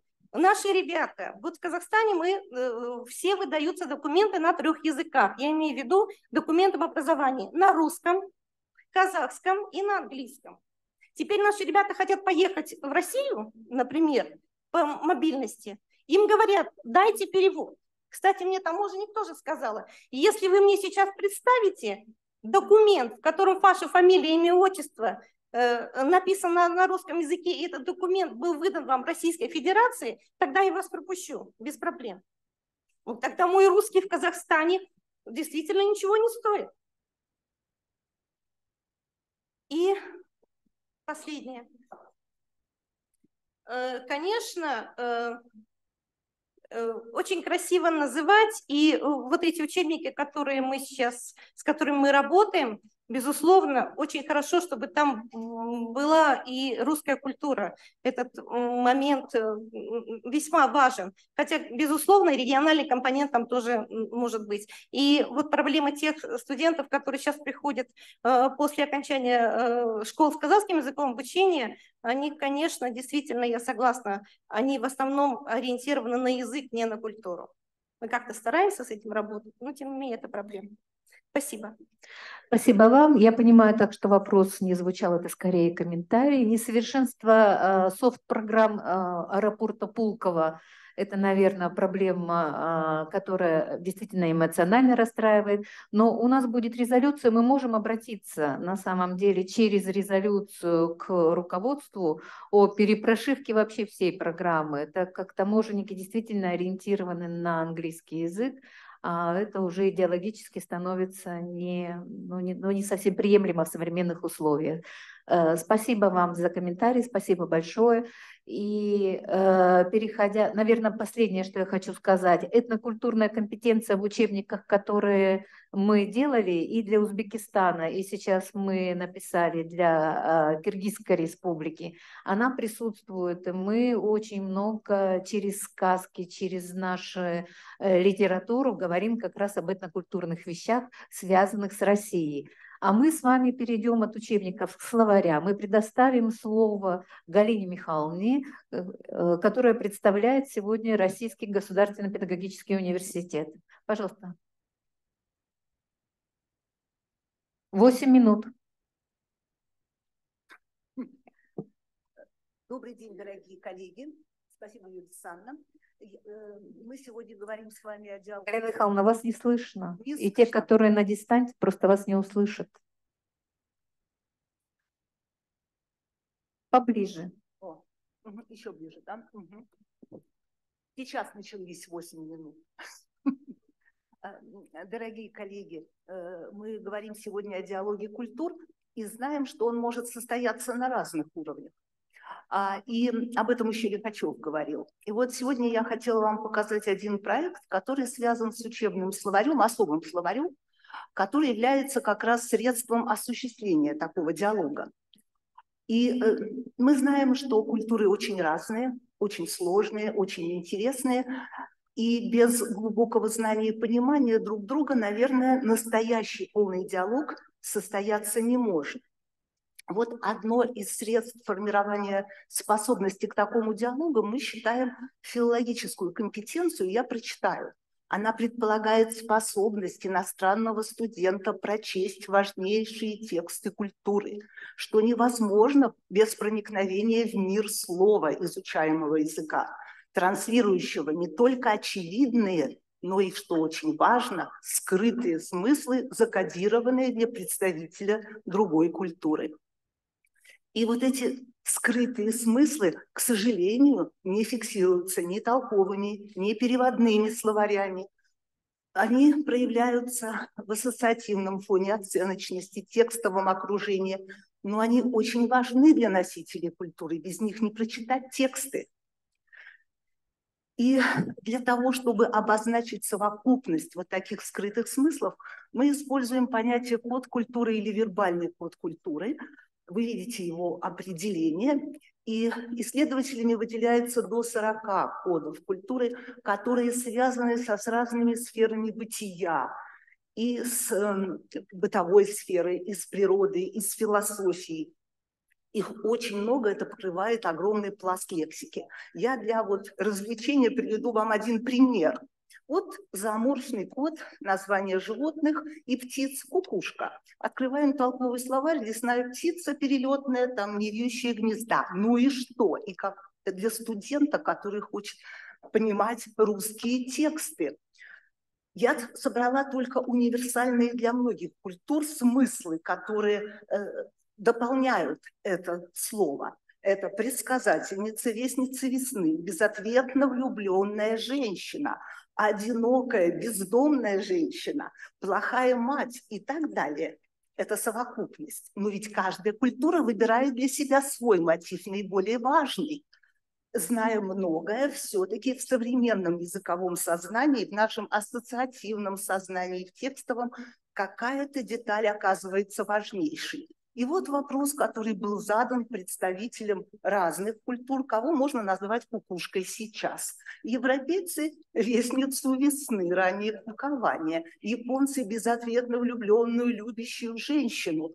Романтизация безответной любви японской поэзии. Тюркские культуры – одинокую, бездомную, страдающую женщину. Ведь, согласно преданию, она была наказана Аллахом за то, что свела гнездо в святой день русские, самое частое, плохая мать. Вот он нравственный императив, который не позволяет, если, если ты плохая мать, то влюбленная, не влюбленная не важно. Важно, что плохая мать. Американцы чаще всего нас назовут недалекого человека, глуповатого, даже сумасшедшего. Ну, отсутствие мифологических представлений, новая культура, и кукушка ассоциируется, как правило, с деталью настенных часов. Дорогие коллеги, мы никак не хотим научить американца называть плохую мать кукушкой. Мы этого и не сможем, да и не хотим. Ну просто, если мы хотим понять другую культуру, прочитать ее тексты и понять ее ценности, нужно обладать культурным потенциалом русского слова. Вот мы придумали такую серию словарей, где будем раскодировать для э, студентов вот эти наши коды культуры. Но эту схему я сейчас продемонстрирую на другом примере. Ну, как формируется код? Ведь это очень сложный вопрос. Я привожу пример растительного кода. Ну вот как возникают различия в наименованиях цветов и трав? Вот цветы и травы. Что там происходит? Во-первых, несовпадение в сезонной символике, географические различия. Очень интересно. Различия в отношении к полевым и садовым цветам. В одних культурах, например, в русской, поэтизируется высокую эстетическую оценку получают полевые цветы. Простые, нежные, скромные, огромные пространства, покрытые этими цветами. А в Китае, например, совсем другие цветы получают высокую эстетическую оценку, а полевые цветы – это только сорняки, которые растут вдоль дорог. Никакой эстетической оценки они не получают, кроме негативной. Конечно, влияют это очень сложный вопрос. Философия, религиозные представления, народно-поэтические представления. Мы знаем, как в Китае это, например. А вот в тюркских культурах особую символическую роль я вот очень интересно было, играет красный тюльпан, который связан со многими национальными поэтическими легендами, является символ прекрасной восточной степи, не поля степи и женщины красивой. Вот. И я вам покажу, как мы в словаре хотим показать. Ну вот один из кодов и одно, одно маленькое слово – ромашка. Вот посмотрите толковый словарь. Однолетнее травянистое растение семейства сложноцветных. Это же самое и в, учеб... в, э, в переводном словаре. Ну и что? В нашем учебном словаре это описание ромашки, как она выглядит, где она цветет, в полях и лугах, когда цветет. О том, что она является символом очень красивой, молодой, нежной, скромной девушки. По ней гадают о счастливой любви. Дальше по схеме нашей идут современные ассоциации. Мы берем ассоциативные словари, которые есть у современных русских. Потом оценка только плюс. Это совсем не совпадает со многими культурами. Эпитеты, которые используются обычно, потом устойчивые сравнения и примеры. Вот я завершаю. Если в гармошку умела все говорить не тая, милая девушка в кофточке белой, где ты, ромашка моя. Ну вот очень хочется, чтобы студент вот в таком совсем простом примере, примере понял, почему так мила русскому сердцу девушка, похожая на ромашку. И скромная, и неброская. Но вот если они пройдут этот путь от объяснений через ассоциации, сравнения и так далее, они выйдут на этот текст. И даже китайцы вас примут это не как бурьян или сорняк, растущий у дороги. Сравнение не очень эстетичное, правда? Вот. И так ведь с каждым культура нагруженным словом. И вот э, в РГПУ имени Герцена был, мы вы, при поддержке, большой поддержке фонда «Русский мир» мы разработали такую серию словарей «Коды культуры» в лексике языка. Это и название цветов и трав, это и ландшафтные явления, атмосферные явления и так далее. Вот, я вам покажу, как они выглядят.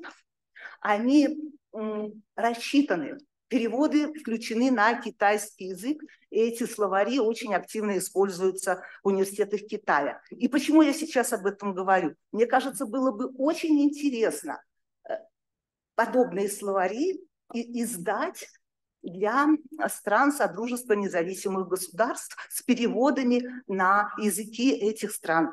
Потому что я знаю, как много очень хороших студентов из этих стран очень любят русский язык, русскую литературу и хотят воспринимать вот полноценное ее содержание. Вот поэтому я вот хотела бы показать это и сказать, что хочется сделать для стран Содружества независимых государств. Вот, ведь потому что филологическая компетенция – это же не только профессиональная компетенция филологов это сейчас уже методисты считают это компетенцией любого образованного человека. Вот, спасибо за внимание.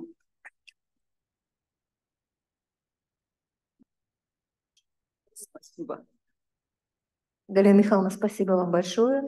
И мы от словарей вот такого интересного, любопытного исследования переходим снова к учебникам, но учебникам уже для высшей школы. И предоставляем слово профессору, а, которая участвовала в нашей творческой команде при создании учебников по русскому языку для школ, но она поделится своим опытом по разработке учебников для студенческой аудитории. Представляет она у нас Э, республику, Киргизскую республику, Кыргызстан, поэтому э, мы предоставляем слово Нурлана Лымкуловна, пожалуйста.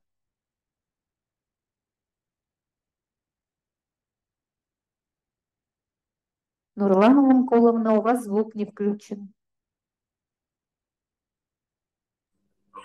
Спасибо большое, Юлия Александровна, за предоставленное слово. Я бы хотела рассказать э, об учебниках, э, которые мы создали, э, которые мы э, написали для наших студентов. Я заведующая кафедрой, межфакультетской кафедрой русского языка, и мы преподаем русский язык для всех факультетов. И я бы хотела сказать, что в киргизских вузах э, на русский язык как учебной дисциплины выделено всего 46 часов. Тем не менее, среди киргизской студенческой молодежи, можно второй, второй слайд, тем не менее, среди, следующий слайд, среди киргизской студенческой молодежи существует большая потребность в знании русского языка. Ну, конечно, она вызвана прежде всего интеграцией высшего образования в мировое образовательное пространство. Пожалуйста, следующий сайт. В киргизском образовательном пространстве ну, э, наибольшее распространение получило обучение на билингвальной основе. Очень хорошо было сказано о том, что такое билингвизм. И э, вот это обучение на билингвальной основе предполагает Э, взаимосвязано использование двух языков.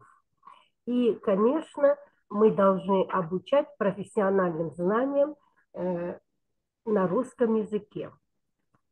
Надо сказать, что наш предмет, наша дисциплина называется профессиональный русский язык.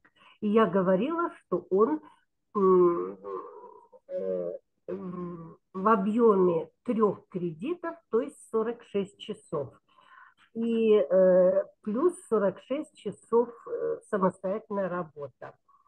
Э, это общеобразовательный предмет, и, конечно, он имеет профессиональную направленность.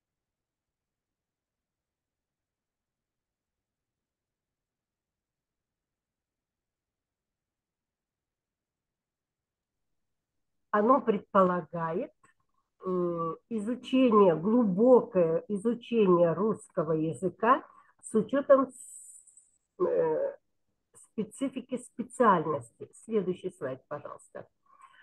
и мы его, следующий, да, и мы его используем не в качестве объекта, следующий слайд, а в качестве средства овладения базовым знанием. Ну, целью изучения дисциплины профессиональный русский язык является формирование и развитие навыков коммуникативной компетенции на русском языке и обеспеч... э, обеспечение профессионально ориентированной языковой подготовки компетентной личности. Следующий слайд. Э, следующий слайд. Обучение языку специальности – это процесс преподавания языка на языковых факультетах, ориентировано на чтение литературы по специальности, изучение профессиональной лексики и терминологии, на общение в сфере профессиональной деятельности. Вот э, э, мы э, вот эти, э, следующий слайд, пожалуйста, э, Конечно, вот этот наш подход предполагает формирование у студентов способности иноязычного общения в конкретных профессиональных, деловых, научных сферах и ситуациях. Э, следующий слайд, пожалуйста. С учетом этих предпосылок э, и составлялись учебные пособия. Структура пособия делится на 12 речевых, речевых тем – каждая из которых включает тексты и задания к ним. А, вот э, следующий, пожалуйста, слайд. Например, э, учебник «Здравствуй, Китай». Это учебник для студентов киргизско-китайского факультета. Э, там тоже преподается русский язык, и мы, конечно, должны обучать их языку специальности. Хотя это языковой факультет – Э, мы стараемся им дать э, э, историю китайского языка, о знаменитых ученых Китая и так далее. Следующий слайд. Изучаем язык специальности. Это учебник, учебное пособие с использованием интерактивных подходов обучения именно для студентов химического факультета, биологического и географического факультета. Следующий слайд, пожалуйста. Выбор дела, выбор судьбы. Это учебное пособие для студентов-экономистов. Следующее.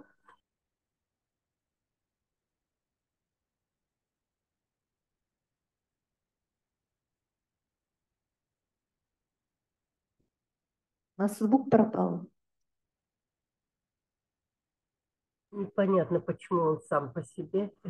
Так, значит, вот какие тексты? Конечно, мы тут э, текстоцентрический подход используем, и, конечно, здесь даем тексты, которые э, именно нужны для экономистов. Например, э, Российская экономическая академия имени Плеханова – это э, первая глава образования знаменитого университета мира.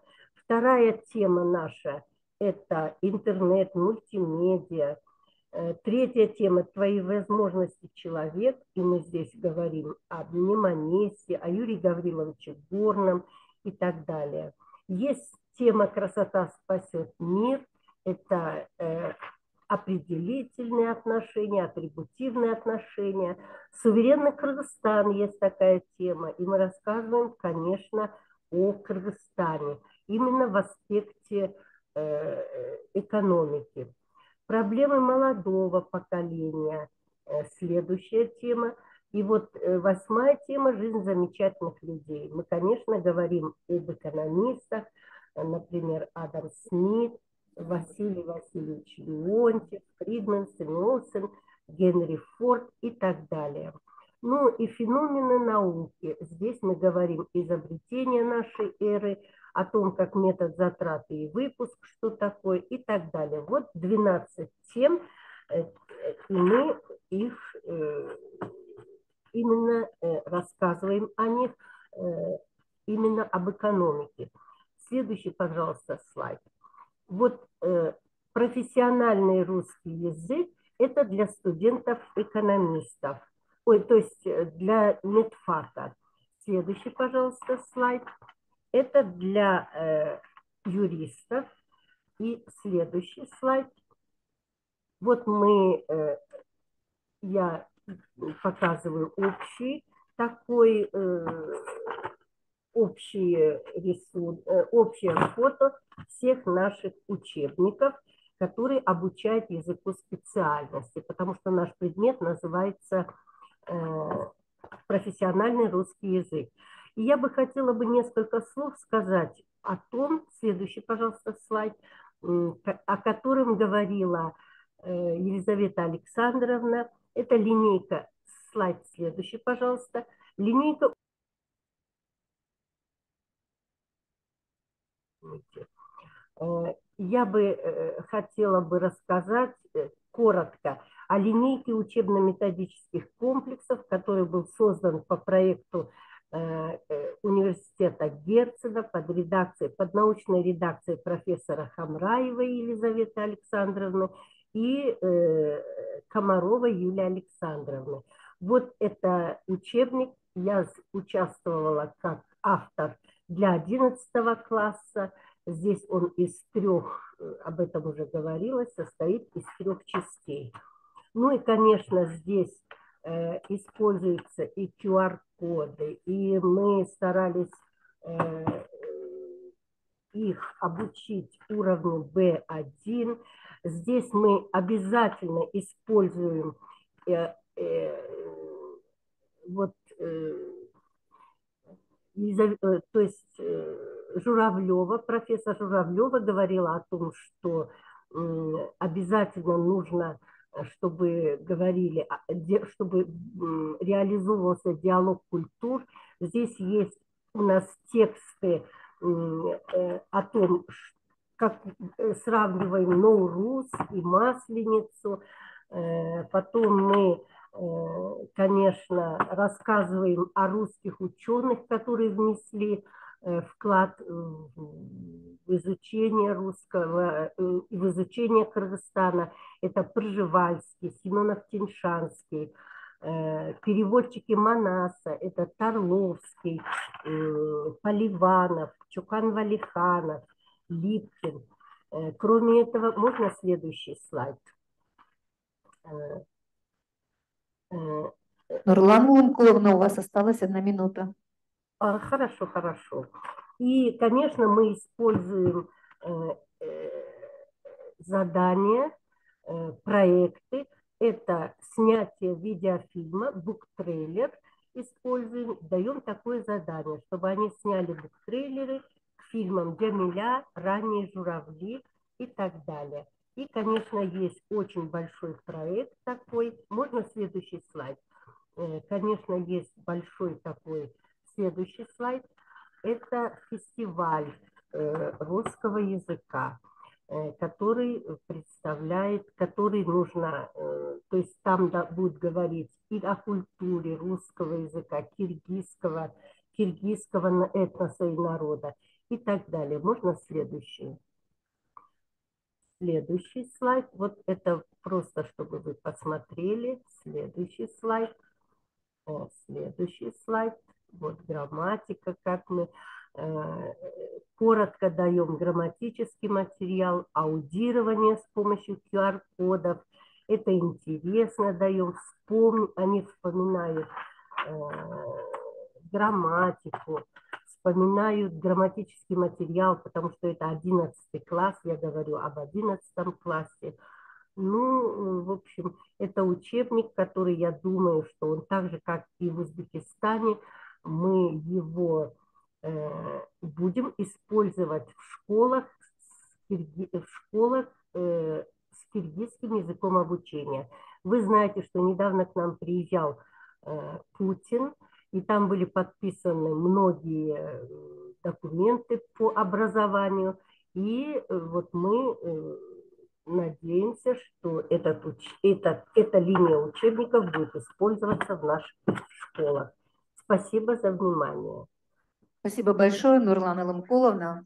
Эти аплодисменты вам. Мы тоже надеемся, что наш учебник э, найдет достойное место на полках учебной литературы в Киргизии. И, э, конечно же, тот объем учебной литературы, который вы создали, в том числе и для высшей школы, он глубоко впечатляет. Спасибо вам большое.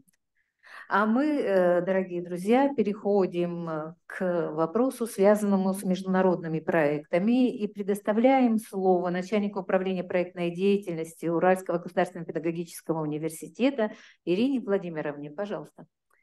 А, добрый день, уважаемые коллеги. Прежде всего хочу поблагодарить организаторов за возможность принимать участие в таком интересном, насыщенном, очень научном мероприятии.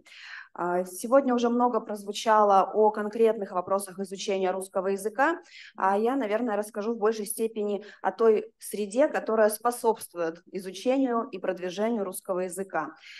А, о наших проектах, которые реализуются в Уральском государственном педагогическом университете. Четыре проекта и четыре тезиса, которые бы мне хотелось озвучить. Тезис первый. Изучение и продвижение русского языка неразрывно связано с процессом сохранения исторической памяти. И э, в этом направлении работает наш проект, который с 2013 года реализуется э, «Живая история». Начинали мы с создания фильмов документальных об истории Великой Отечественной войны, основанных на воспоминаниях уральцев. По результатам у нас получилось шесть документальных фильмов 40-минутных, которые рассказывают о ключевых событиях войны с глазами тех, кто непосредственно принимал участие. Это было очень важно, потому что сегодня, к сожалению, уже никого из этих участников войны нет, а воспоминания их остались, и мы можем ими поделиться. А потом а, мы вышли на новый уровень и в 2016 году создали платформу а, интерактивную, где размещаются различные конкурсы, направленные на продвижение русского языка и на сохранение памяти, на изучение истории. Более там, 40 уже конкурсов размещено, и ежегодно обновляется эта методическая копилка, одновременно формируется и методический материал для учителей.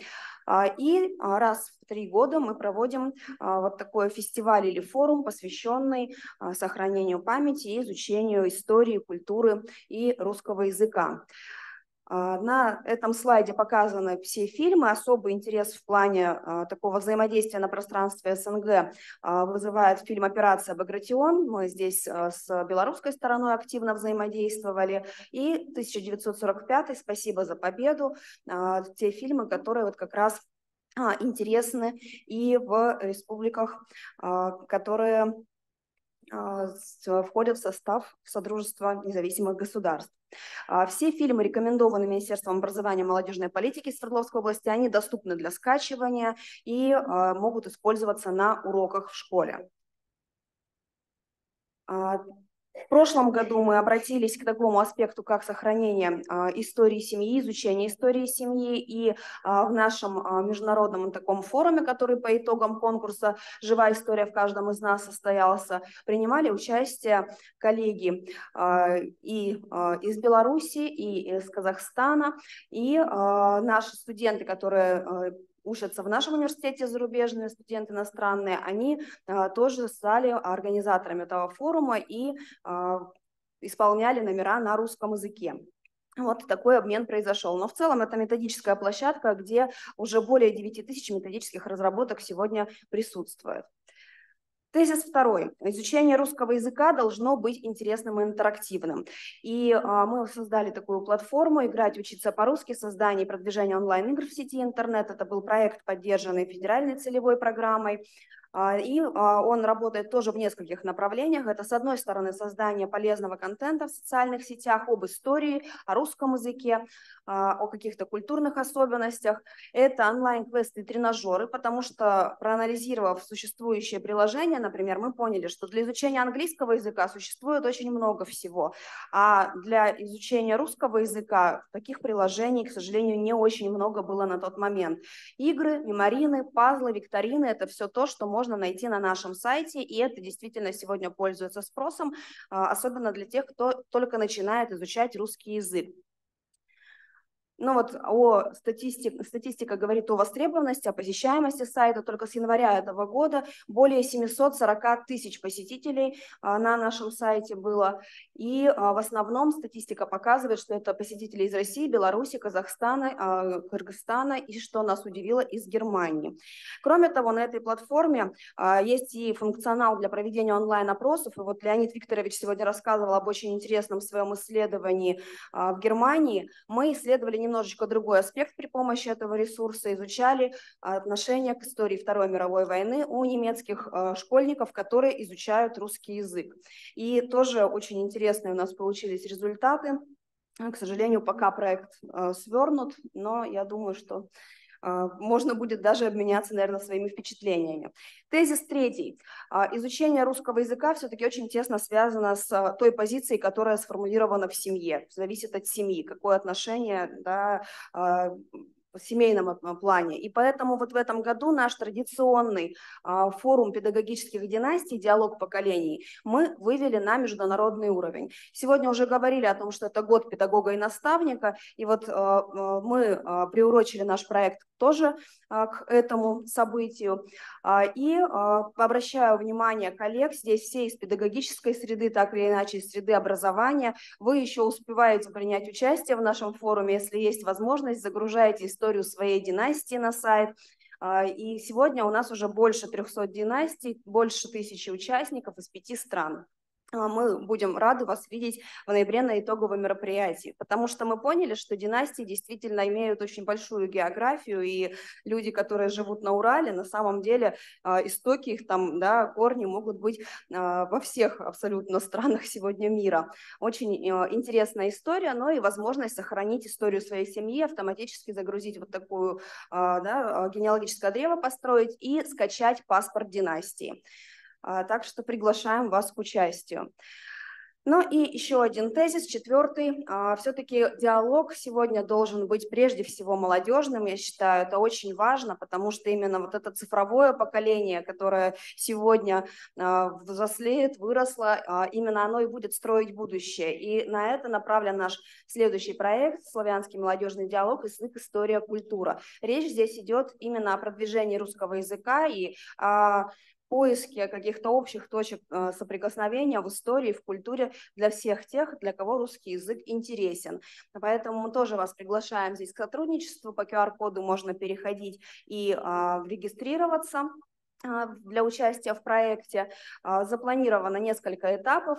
А, вот э, сейчас реализуется онлайн-формат. Это диалоги между студентами разных стран для обсуждения вопросов истории, прошлого, культуры, сотрудничества молодежного международного. И в феврале у нас состоится итоговое мероприятие в Екатеринбурге. Будем рады вас видеть. Особенно хочется обратить внимание студентов, которые здесь вот э, сидят, уже немножечко заскучали, да, устали.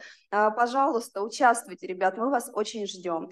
А, большое спасибо за внимание и еще один вывод, который хочется сделать. Сегодня очень важно уделять внимание именно э, цифровым технологиям и интернет-пространству, потому что оно очень сильно влияет на формирование молодежи и отношения и к нашей э, истории, и к культуре, и к языку. Спасибо большое, буду рада сотрудничеству. Спасибо большое Ирине Владимировне. Это действительно чрезвычайно интересные инициативы в цифровой среде выраженные. Я видела, что очень многие сделали снимки QR-кодов для того, чтобы обратиться еще раз к этому ресурсу. Э, но а, что меня привлекло, это количество посещений. оказывается, ваш сайт чрезвычайно популярен в Беларуси. Мне кажется, самое время дать слово директору школы, правильнее сказать, гимназии, директору гимназии номер один города Минска Наталье Владимировне. Пожалуйста, вам слово. Добрый день, уважаемые э, коллеги. Меня слышно, да, дорогие друзья? Хорошо слышно. Да, спасибо большое за приглашение. И абсолютно согласна с предыдущими выступающими о том, что филологическая компетенция является необходимым условием успешности человека в любой профессиональной деятельности. А, Мое выступление а, связано с формированием языковой личности в условиях государственного двуязычия. Начну со слов Куприна. Язык – это история народа, язык – это цивилизация и культура, можно следующий слайд показать. Поэтому изучение и сбережение русского языка является не праздным занятием, но и насущной необходимостью. А, покажите, пожалуйста, следующий слайд. Эти слова а, Куприна являются без сомнения актуальными и сегодня. Действительно, язык всегда являлся действенным инструментом регуляции деятельности э, людей в различных сферах деятельности, сферах. Поэтому формирование языковой культуры современного школьника является одной из важных составляющих его успешности в будущем. Давайте следующий слайд. Сегодня образование мы рассматриваем как процесс непрерывного развития личности, наращивания знаний, навыков, способностей, позволяющих понимать изменения в окружающей среде и в самом себе, для того, чтобы не просто адаптироваться к этим изменениям, а эффективно реализовывать себя в постоянно и динамично меняющемся социуме. И в этом отношении большая роль принадлежит языковой культуре. Следующий слайд, пожалуйста. Социализация молодого человека, сегодня мы об этом говорили уже неоднократно, происходит не только в реальном мире, но и виртуальном. А сегодняшний социум – это не только улица и двор, и даже не улица и двор. Сегодняшний социум для взрослеющей личности – это еще и гаджет с многочисленными приложениями. Мы знаем, что общение выступает одним из способов социализации. Ну а всем нам известно, какой лаконичностью, а иногда просто отсутствием культуры эм, э, ограничивается общение в мессенджерах. И, конечно же, это сужает возможности любого языка. И вот все вышесказанное определяет важную задачу, которая стоит сегодня перед современной школой. Создать условия, предоставить возможности для формирования у детей широкого языкового кругозора, воспитывать умение пользоваться всеми возможностями языка, воспитывать уважение к слову, способствовать развитию творческого потенциала и коммуникативной компетенции. В нашей стране не стоит вопрос сохранения русского языка. И это к большой радости и счастью. В Республике Беларусь русский язык является одним из двух государственных языков. Оба языка, русский и белорусский, а также обе литературы, изучаются в нашей стране абсолютно равных объемах. А на централизованном экзамене выпускники сдают по выбору. Централизованный экзамен – это аналог ЕГЭ. По выбору сдают ну, в качестве обязательного, но один из языков, то ли русский, то ли белорусский. Все учебники у нас государственные, они написаны нашими белорусскими авторами, но сохранили самые лучшие традиции советской школы.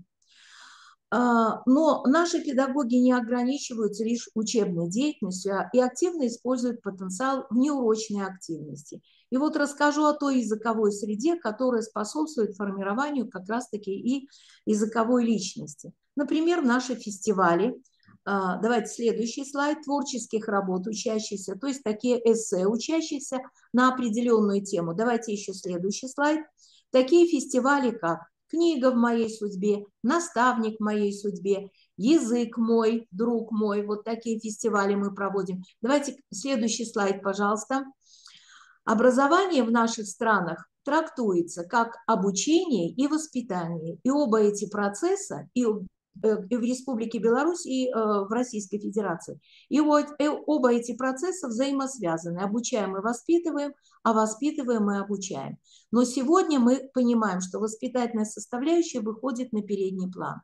Воспитание, как известно, это не краткосрочный, а перманентный процесс, который требует интеграции и консолидации всех видов ресурсов. И общественных, социальных, культурных, но самое главное человеческих. Давайте следующий слайд. И одной из форм, позволяющих формировать, давайте следующий слайд, э, формировать детско-взрослую общность, в которой происходит погружение учащихся в мир наших духовных ценностей. А мы все говорили, что мы выросли из одной культурной, духовной среды в мир литературы, в мир культуры и средством языка выступают литературно-музыкальные гостиные. Эта форма внеклассной работы с учащимися не является новацией в школьном образовании. Однако сегодня мы можем обогатить ее, эту форму воспитания, новым содержанием. Ну, тематика литературно-музыкальных гостиных у нас самая разнообразная. К юбилейным датам великих писателей и наших белорусских, Богдановича, Янки Купалы, Достоевского, Высоцкого, Сергея Владимировича Михалкова. Сегодня мы сделали литературную гостиную важным событием в гимназическом образовательном календаре. Событий, в котором принимает участие значимая часть гимназического коллектива. Следующий, пожалуйста. Хорошей традицией стали наши языковые гостиные. А, а, давайте еще следующий слайд. А, два языка родных, как два крыла у птицы. Гостиная под таким названием ежегодно проводится в гимназии 2 апреля в День единения народов России и Белоруссии. Следует особо подчеркнуть, что все гостиные проходят на двух языках. Наши педагоги, учащиеся их родители, декламируют стихи, читают прозу и собственные переводы русских классиков и современных писателей, поэтов на белорусский язык. Отдельно отмечу тематику гостиных, посвященных важным историческим датам. Для нас 9 мая – это святой день, День единения. В, это, э, в этом году в третий раз 17 сентября мы отметили. Духовная память – это то, что объединяет Россию и Беларусь, песни военных лет. А еще гостиные, которые обращают нас к великим достижениям русской и белорусской культуры. Так на одном дыхании, например, проходит гостиная «Возвращение романса», «Осенние этюды», традиционная гостиная ко дню учителя, ко дню матери. Вот совсем недавно прошедшие такие э, замечательные праздники, и мы отметили их в своем гимназическом календаре. И формирование языковой личности происходит в атмосфере высокой культуры, музыки, литературных, художественных образов. А недавней традицией стало стали балы. Это бал пушкинской поры, пасхальный бал, вот такая духовно-нравственное тоже воспитание. И бал – это не только классический танец, это еще богатый мир культуры и литературы и рефлексии учащихся на те произведения, которые они прочитали. Давайте следующий возьмем. С 2015 года... минута.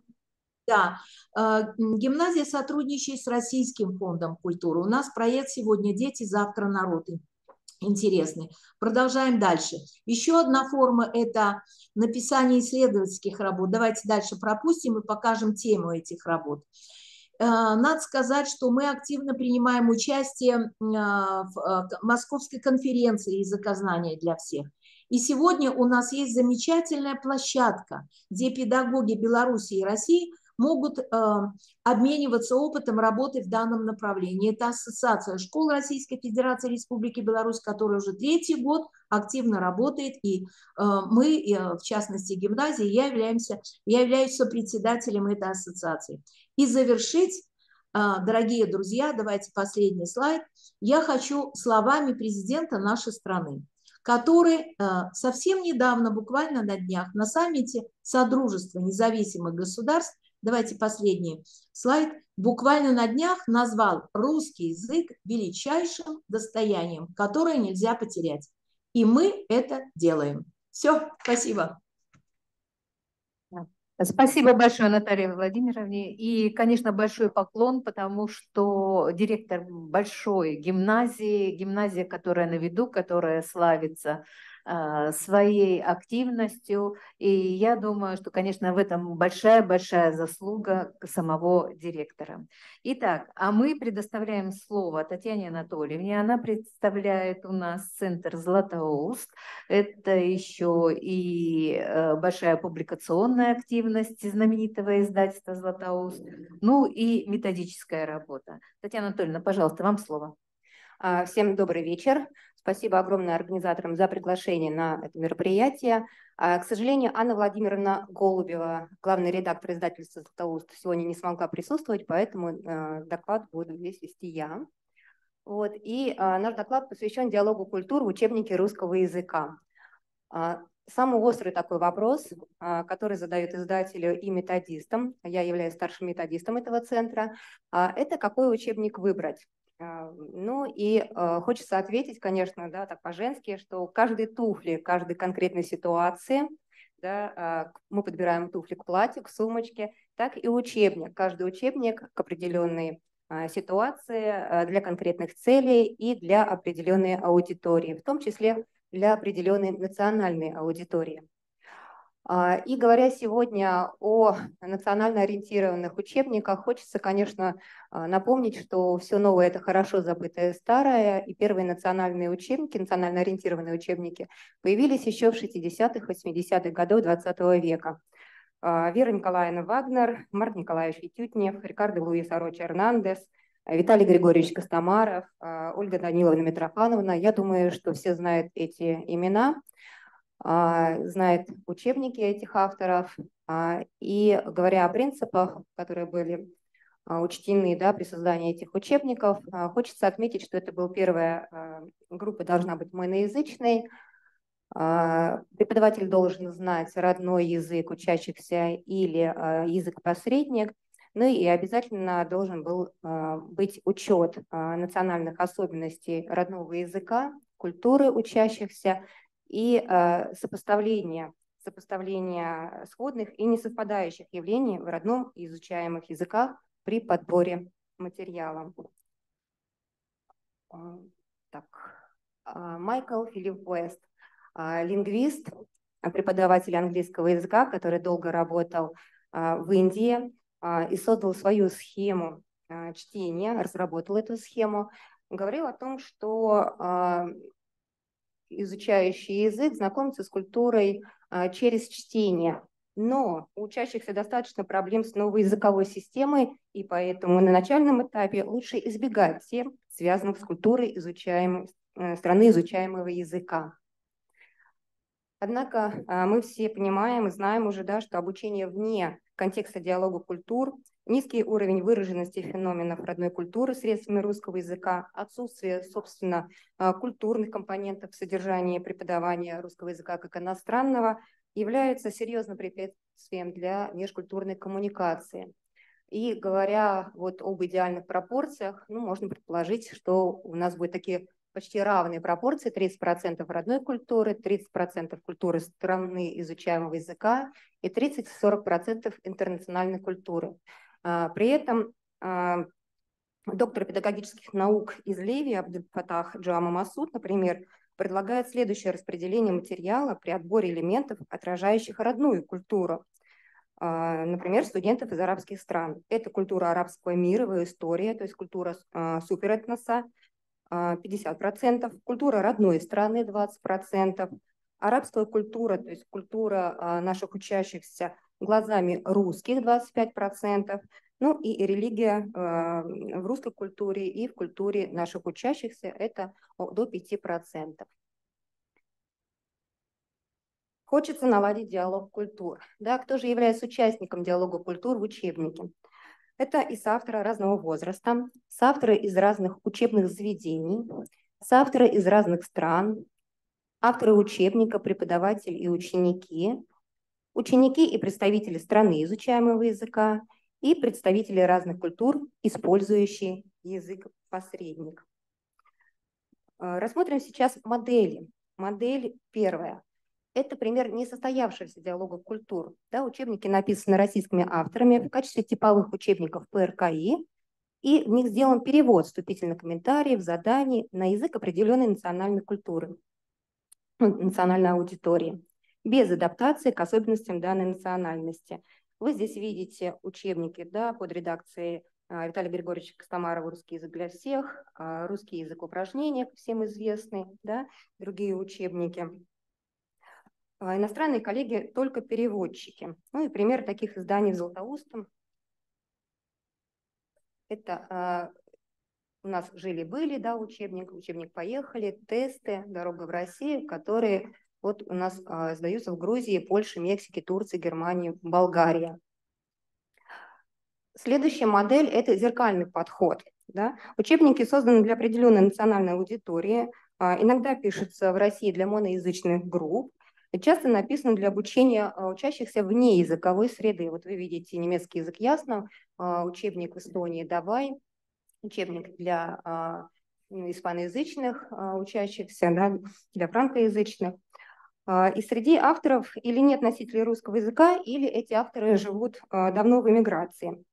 В этих учебниках активно используется родной язык учащихся, используется сопоставление фонетических систем русского и родного языков. Грамматика представлена только на родном языке, даны переводы на родной язык, упражнений, заданий, диалогов. При этом с первого урока читаются довольно сложные оригинальные тексты для чтения. И, как отмечают коллеги, эти тексты очень часто такие стереотипные, да, не отражающие э, реальные явления и события, происходящие в России, в современной России.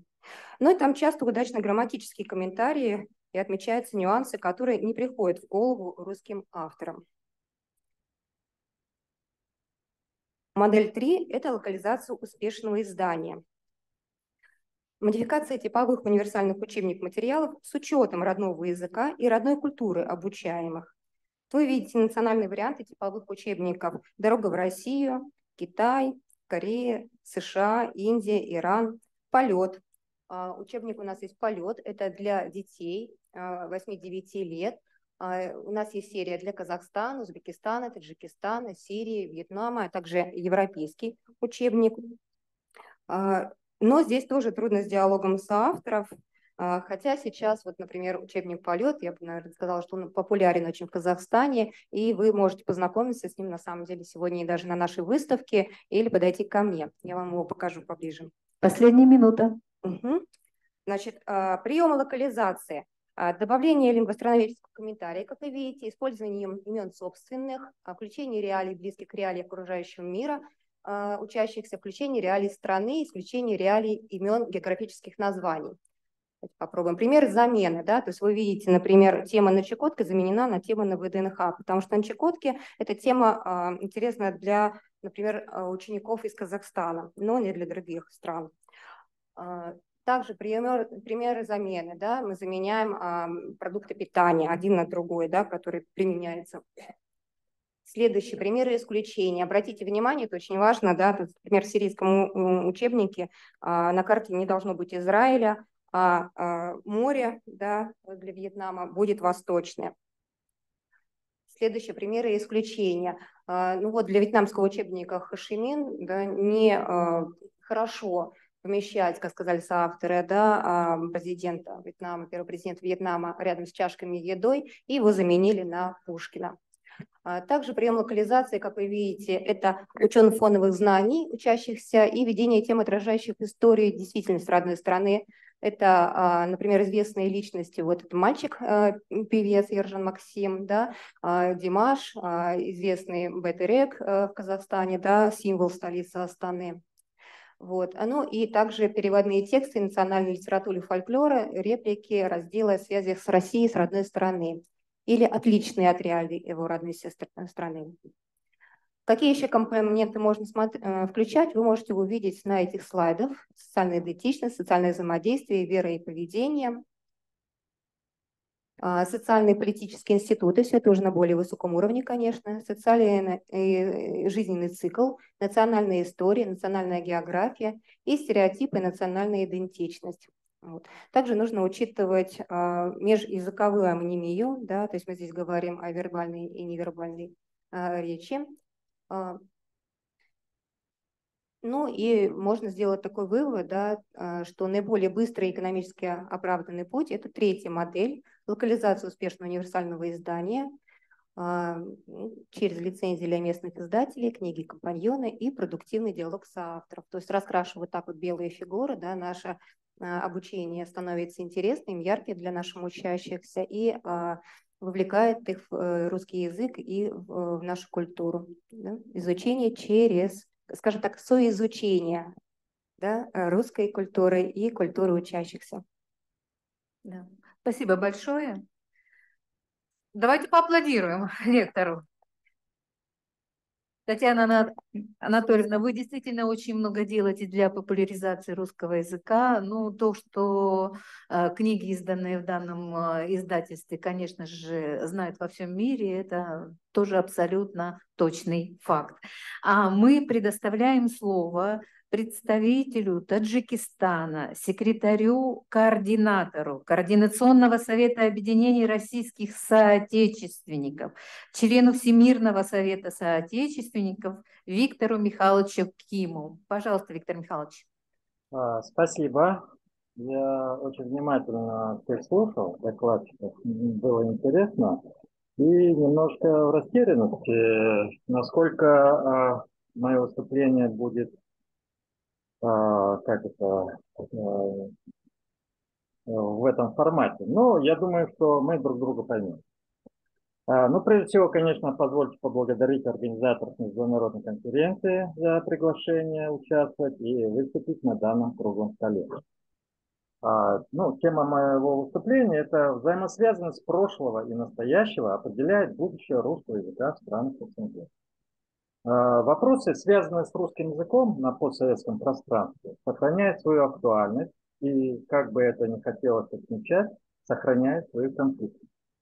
А ведь прошло уже более 30 лет, и тенденция сокращения пространства русского языка в странах бывшего Союза должна уже как бы как минимум остановиться. Однако проблемы сохранения, развития, поддержки и популяризации русского языка в странах СНГ остаются актуальными и нерешенными. Можно, конечно, возразить и привести другую точку зрения, которая бы показывала позитивные шаги и динамику роста статистики проведенных мероприятий и роста охвата аудитории, количество школ и классов с русским языком обучения, увеличение количества квотных мест до 30 тысяч для иностранцев, желающих получить российское образование на русском языке, о новых современных методиках преподавания русского языка и даже такое часто, частое применение в публичном пространстве такого нововведения, как РКИ, или русский язык как иностранный. Да и тема нашего круглого стола связана с русским языком как иностранным. Чтобы понимать, что делать, и мы должны понять, в чем проблема. А проблема, как всегда, в простом, и она перед нашими глазами. Начнем с того, что рядом и то, что мы видим и слышим здесь и сейчас. Название. Русский язык как иностранный. Что тут не так? С позиции методики преподавания русского языка все нормально и правильно. С позиции восприятия в странах СНГ это насаживание нового понятия и нового отношения к русскому языку как иностранному, то есть чуждого. Можно, конечно, оспорить такую позицию, но это реальные факты, и такова реальная действительность, и это глупо игнорировать. А в основе всех проблем лежит основная, главная проблема. Это отсутствие регулярных, ежегодных исследований состояния или положения русского языка в странах СНГ. Нет исследований, нет объективной информации. Нет объективной информации, нет результата. Соответственно, эффективность от затраченных средств и усилий со стороны России на примере Таджикистана максимум можно оценить 30%. Тогда как в случае с Таджикистаном эффективность могла быть равна на все 100%. В Таджикистане, если в сравнении с другими странами СНГ, самые идеальные условия для сохранения и развития русского языка. Однако, порой некомпетентный, а иногда непрофессиональный подход со стороны некоторых российских организаторов и некоторых специалистов дискредитируют политику России и привлекательность русского языка как языка культуры, науки, литературы и языка межнационального общения. Опять же, вот свежий наглядный пример. 2023 год объявлен годом русского языка как язык межнационального общения. Хорошая возможность для укрепления позиции русского языка в странах СНГ. Однако, что мы видим? Практически ничего не видим. Например, российские организации при поддержке президентского фонда культурных инициатив реализовывали проект под названием, внимание, русский язык как культурный код нации и язык межнационального общения. Это вот в странах Таджикистан, Узбекистан, Азербайджан. Такое название больше применимо в России, но не как в зарубежных странах. Что мы быстро забыли и что мы не хотим понимать? А забыли мы главное, что в странах СНГ еще совсем недавно русский язык был государственным. Это в России уже забыли, а в странах СНГ еще живо поколение разных национальностей, в том числе и титульных, которые это не только помнят, но и используют русский язык как родной, подчеркну, не как иностранный. Не понимать такую действительность – это сознательно отодвигать и противопоставлять русский язык национальным языкам в странах СНГ. Это был уникальный исторический отрезок совместного развития, а через взаимосвязанность прошлого и настоящего ведь есть хорошая возможность определить очень хорошую перспективу будущего русского языка в странах СНГ.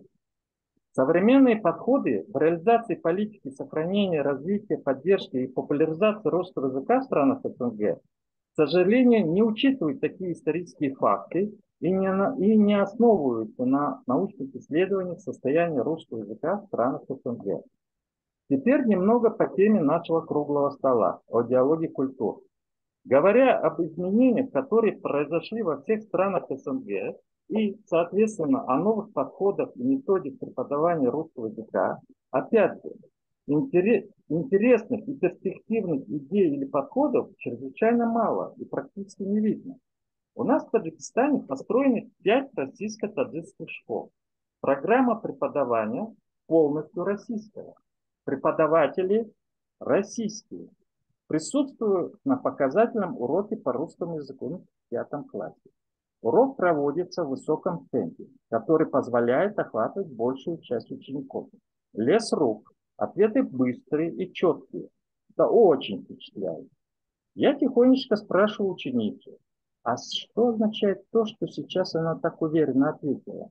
Ответ меня поразил. Не знаю. Такой случай исключение? Не думаю. С моей точки зрения, русский язык – это не математика. Тема взаимодействия русского языка и национальных языков стран СНГ должна представлять интерес для специалистов.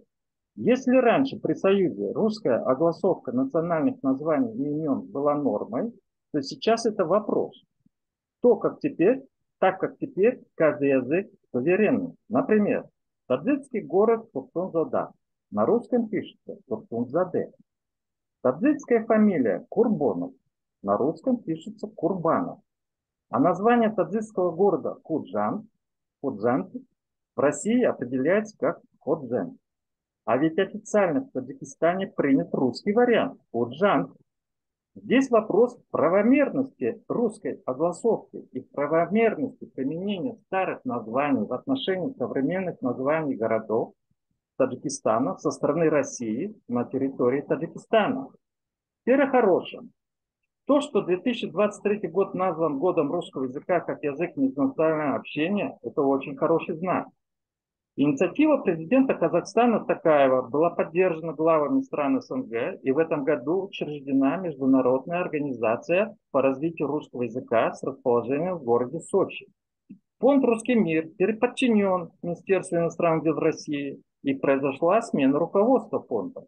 Все хорошее ожидаем впереди. Спасибо за внимание. Спасибо большое, Виктор Михайлович. Мы переходим к следующему нашу докладу и предоставляем слово Марине Николаевне, которая также предостав...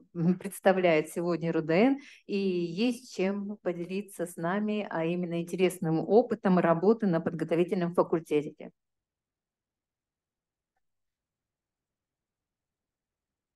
Видите?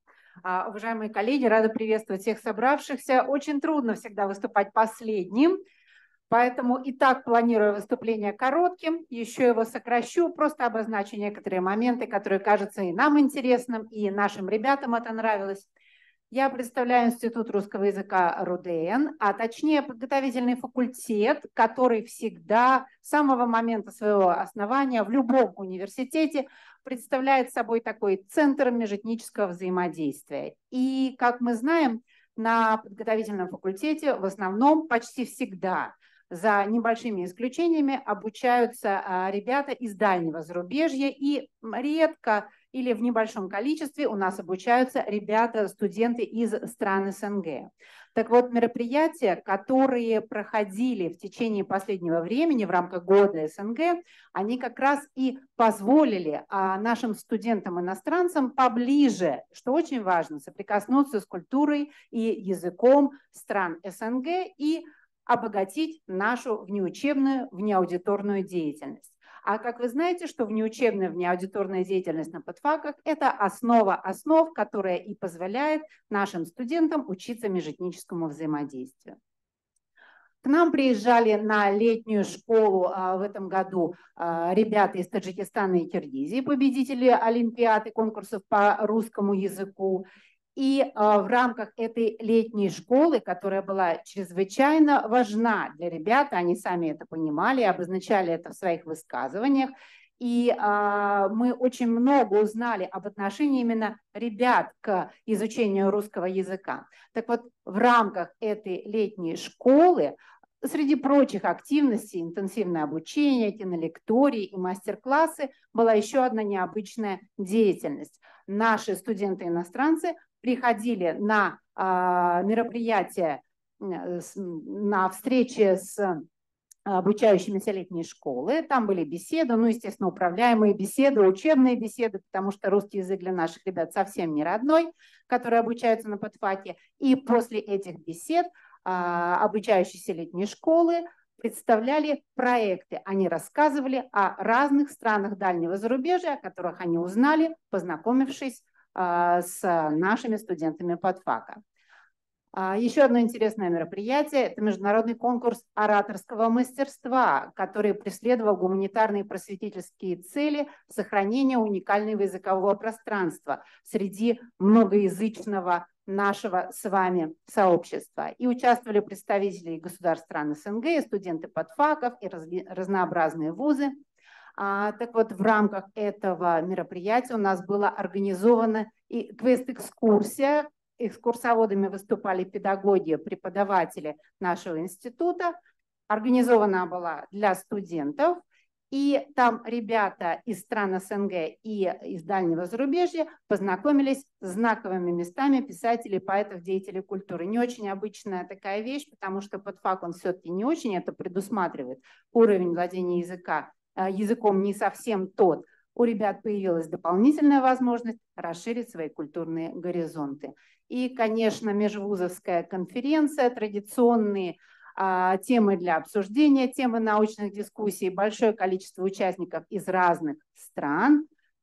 И а, в рамках этой конференции проходил стихомарафон, где все желающие читали свои любимые стихи и еще одно мероприятие, такой культурно-просветительский флешмоб, который позволил нам, преподавателям а, Института русского языка, вместе с нашими коллегами, преподавателями из вуза стран СНГ, прочитать на русском и а, родных языках преподавателей произведения поэтические а, поэтов и процитировать прозу писателей из стран СНГ, был очень интересный проект, который получил большой отклик в сердцах и душах как а, студентов из стран СНГ, так и студентов подготовительного факультета. До сих пор о нем вспоминают.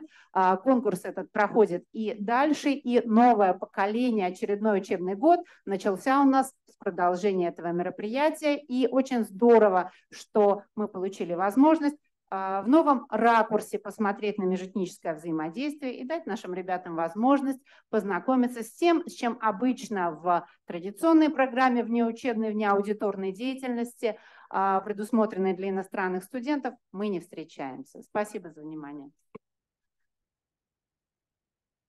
Спасибо большое, Марина Николаевна. У нас есть еще два а, выступления, но я хотела сказать, так как у нас ряд э, наших выступающих приглашены еще на одно мероприятие. Мы их отпускаем сейчас.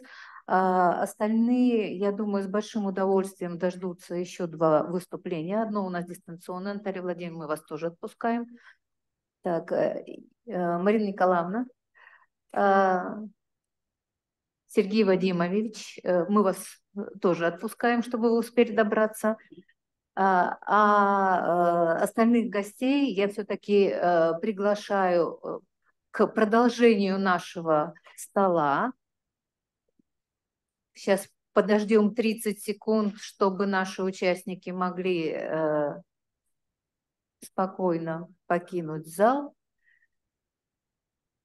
И мы с вами переходим к дистанционному выступлению. Автор этого выступления будет Алена Александровна. У нас сегодня Уральский государственный педагогический университет представлен достойно двумя выступающими. И мы с удовольствием а, послушаем о том, как Уральский государственный педагогический университет сотрудничает с Пакистаном.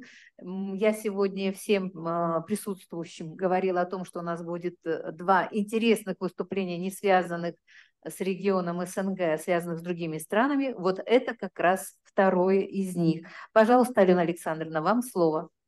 Спасибо. Добрый день, уважаемые коллеги. Благодарю за возможность поделиться опытом продвижения русского языка а, в Исламской Республике Пакистан.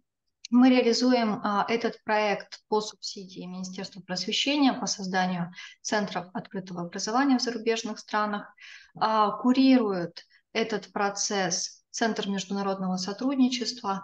И хотелось бы поблагодарить а, коллег, сотрудников за регулярную помощь, поддержку. А, и а, когда мы только заходили в Пакистан, то ну, были определенные да, сложности. Как известно, в Пакистане незначительное присутствие русского языка и российского образования. Когда мы запускали наш проект, то только русский язык реализовывался в Центре Россотрудничества в Карачи и в Лахоре. И а, небольшие группы русского языка обучаются в Национальном университете современных языков в Исламабаде. Мы в качестве своей площадки Центра открытого образования на русском языке а, выбрали Исламабад. И а, проект мы запустили с визита нашей делегации по образовательным учреждениям Пакистана, а, заключили ряд соглашений, в том числе и с Министерством образования и с другими университетами. В итоге а, в конце августа а, центр мы открыли на территории открытого университета имени Алама Икбала. То есть это прям несколько комнат, в которых реализуется образовательный процесс. И, соответственно, интерьер, он как раз связан с символикой а, Министерства просвещения Российской Федерации и символикой Пакистана. В качестве функций Центра открытого образования мы определили а, это а, научные мероприятия, научное сотрудничество, просветительская функция – то есть э, продвижение а, России, российского образования, культуры России. Ну и основная, которая сейчас у нас реализуется, это обучение русскому языку. А на данном этапе у нас активно проходит процесс уже тестирования на уровне владения русским языком а, пакистанцев. Ну а запустили мы процесс обучения в мае. Изначально мы отправили по разным образовательным организациям Пакистана а, формы а, для регистрации. И в итоге буквально за три недели у нас зарегистрировалось больше тысячи человек, что, конечно, говорит о интересе а, со стороны пакистанцев в русском языке. Для этого количества человек в июле мы запустили онлайн обучение. Это были как а, очные встречи в онлайн-формате а, преподавателей, так и онлайн-курс. Ну и э, по итогам а, онлайн-этапа отобрали тех студентов, обучающихся, которые вот у нас прошли уже очное обучение, это 180 человек. И, как вы понимаете, основная часть, конечно, обучается на уровень а1 и сейчас дает тестирование на уровень А1. А, небольшие группы – это уровень А2 и Б1. Как правило, это те а, студенты, которые уже изучали русский язык а, на базе Национального университета современных языков. А, далее, а, параллельно а, с процессом обучения мы также установили научно-образовательное сотрудничество между преподавателями, и у нас сложились тематические исследовательские группы. Мы провели ряд семинаров, круглых столов, в том числе круглый стол по образовательным системам Российской Федерации и Пакистана вместе с открытым университетом Алама Игбала. Кстати, это единственный университет, который реализует педобразование в Пакистане. Поэтому а, с факультетом образования мы устанавливаем такое тесное а, научное сотрудничество, в том числе и а, провели ряд а, тематических семинаров по психологии, по специальному образованию. А, что касается студентов, то студенты практически каждый месяц у нас участвуют в межкультурном диалоге. А, это студенты а, с нашей стороны РКИ и Иньяза, и, соответственно, студенты открытого университета и студенты национального университета. Они обсуждают разные вопросы в таком англо-русском варианте, связанные с национальными традициями, символикой, с историей, с достопримечательностями двух стран. В том числе запустили ряд флешмобов. Вот первый флешмоб а, это был а, ключ дружбы, а, в котором студенты наши и студенты Пакистана, они делились своими образами, своими впечатлениями о своем собственном государстве. И а, в качестве перспектив, которые мы уже сейчас начинаем отрабатывать, это расширение нашей деятельности а, в школьное пространство, и мы планируем включиться в программу «Российский учитель за рубежом» вместе с Пакистаном а, для того, чтобы развивать русский язык как в пространстве университетов, так и в пространстве школ. Это сотрудничество в сфере образования, и здесь в качестве перспективного направления а, нам видятся совместные сетевые программы, программы двойных дипломов. А, для того, чтобы а, продвигать российское образование в пространстве Пакистана. А, мы будем продолжать научное сотрудничество с теми коллективами, а, с которыми уже сложились у нас определенные да, исследовательские интересы. И вот а, в рамках как раз данного направления в ноябре в Екатеринбурге на базе нашего университета пройдет Международный конвент «Россия-Азия», в котором примут участие не только представители Пакистана, но и представители других азиатских стран, в том числе Таджикистан, Казахстан, Китай и другие. Поэтому, коллеги, еще есть возможность, да, присоединяйтесь, и мы будем всех ждать в Екатеринбурге на Международном конвенте. И а, еще одно направление, но это была инициатива Пакистана, а, которую они сейчас рассматривают на а, правительственном уровне, это создание Центра Урду исламской культуры на базе нашего университета, чтобы у нас был такой а, межкультурный взаимообмен, да, центр русского языка там и центр, соответственно, урду и исламской культуры здесь, в России. И а, в целом в качестве определенных перспектив мне бы хотелось отметить, что со стороны пакистанского общества и пакистанских образовательных организаций есть заинтересованность в русском языке. Основная часть Пакистана фактически не задействована в этом процессе обучения. И а, мы думаем, что вот а, эти а, направления и научно-образовательного сотрудничества и обучения русскому языку мы будем развивать в перспективе. Благодарю за внимание.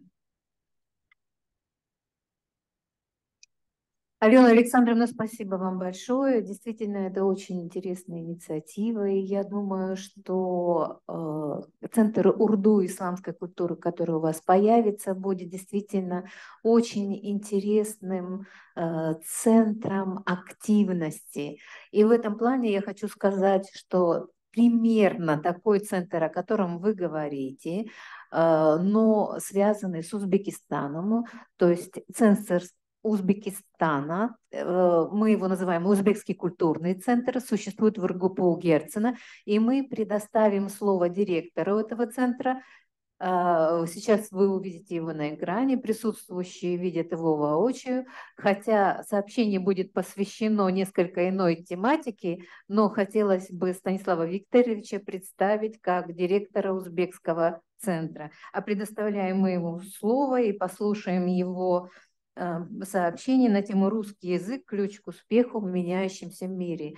Так как у нас э, Станислав Викторович занимается очень многими проектами, так или иначе связанными с сегодняшним днем региона СНГ, я думаю, что вот такое завершающее красивое выступление будет красивой финальной точкой работы сегодняшнего круглого стола. Станислав Викторович, вам слово. Спасибо большое, Юлия Александровна, уважаемая. Э, рад поприветствовать всех участников и гостей круглого стола. Э, сегодня, да, я на нашем мероприятии представляю Герценовский университет, но хотел бы, как человек, большую часть жизни проживший в Центральной Азии, и человек, который и открывал, и возглавлял те самые русские школы за рубежом, обратить ваше внимание, может быть, на некоторые моменты. Так, у нас есть, да?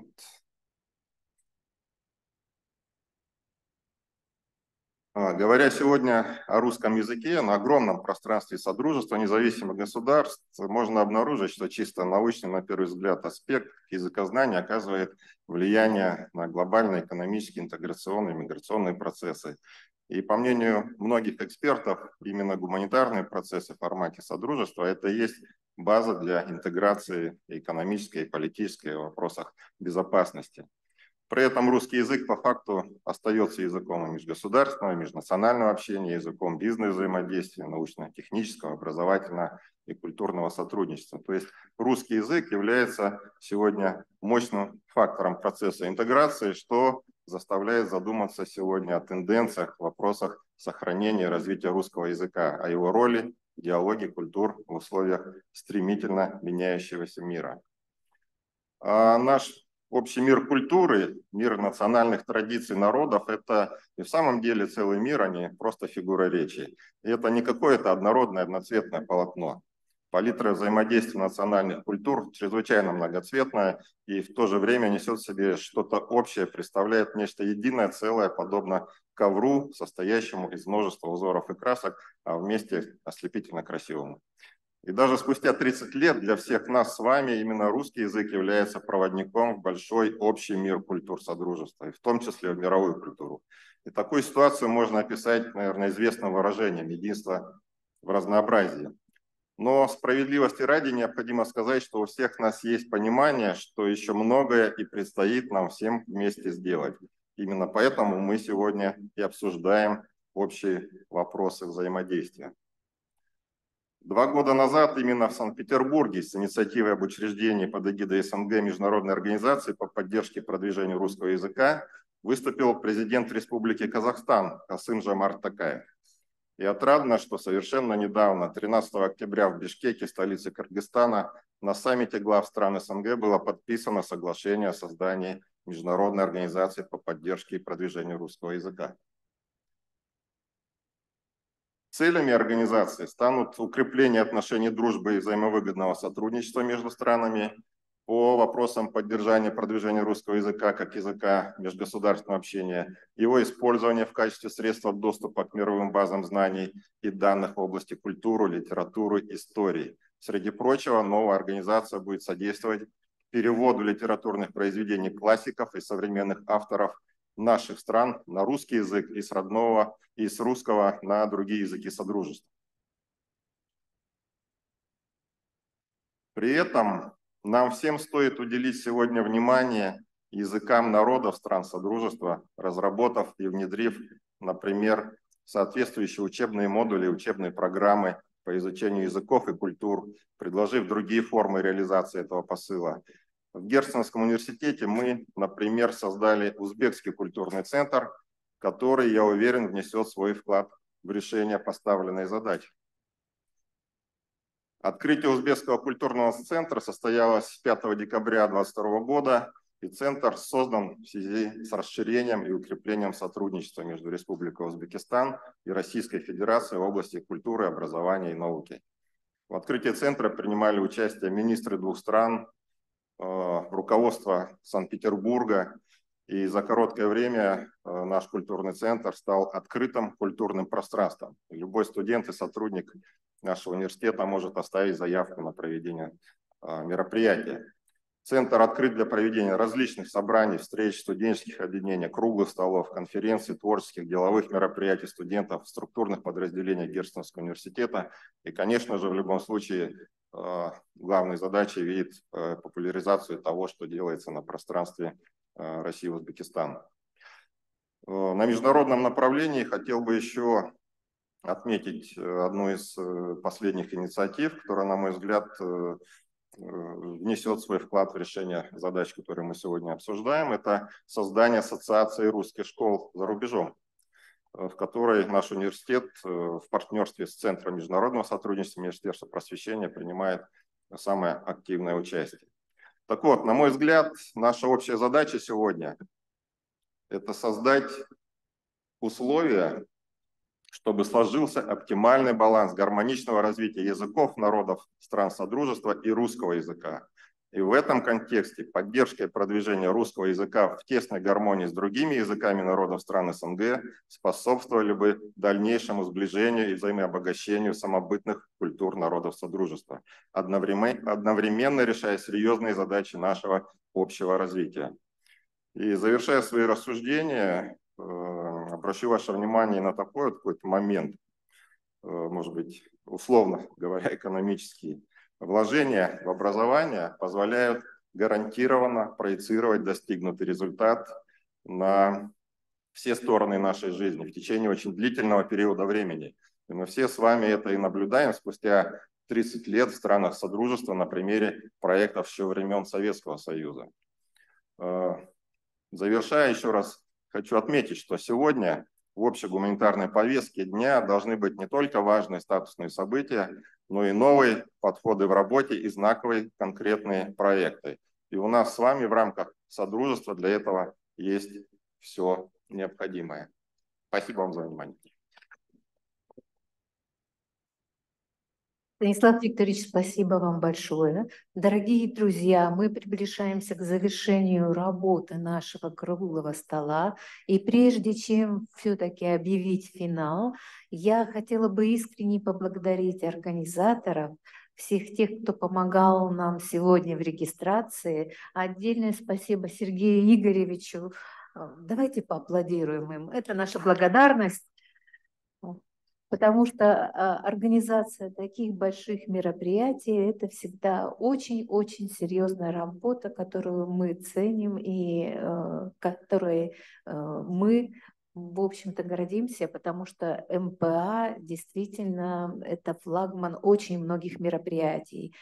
И э, в завершении я хотела бы предоставить слово по одному небольшому организационному вопросу. Слово предоставляется Сергею Игоревичу с его небольшим объявлением. Уважаемые участники э, конференции, хотел вам э, напомнить, возможно, вы эту информацию уже видели на нашем сайте, но еще раз напомнить. Не слышно нам. Да, так слышно? Э, напомнить э, информацию о том, что для участников э, конференции предусматривается 50% скидка при посещении филиалов Русского музея сегодня и завтра. Ну, сегодня, к сожалению, я боюсь, вы уже не успеете туда попасть, хотя музей работает до 21 сегодня, но завтра у вас будет время с 10 до 6 Э, в любое это время вы можете туда прийти, имеется в виду Михайловский дворец, Строгановский дворец, Мраморный дворец и Инженерный замок.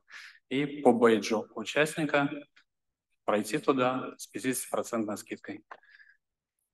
Спасибо большое организаторам. Ну и теперь мы уже совершенно спокойно, поняв э, все уже организационные финансовые вопросы, выяснив, Э, можем завершить работу нашего круглого стола. И большой поклон всем тем, кто три часа работал активно здесь, э, в нашем зале, без перерыва, и действительно украсил э, наши действия своими выступлениями, комментариями и просто своим присутствием, потому что спасибо всем тем, кто был с нами все три часа. Ведущему круглого стола тоже большое спасибо. Спасибо вам. Всего вам доброго, счастья, здоровья и, конечно же, семейного благополучия. Те э, участники, которые были с нами на дистанции, мы всегда вас ждем в гости и в Петербург, и в РГПУ Герцена. Добро пожаловать. Всего доброго. Спасибо всем. Да, до свидания. До свидания. Спасибо вам.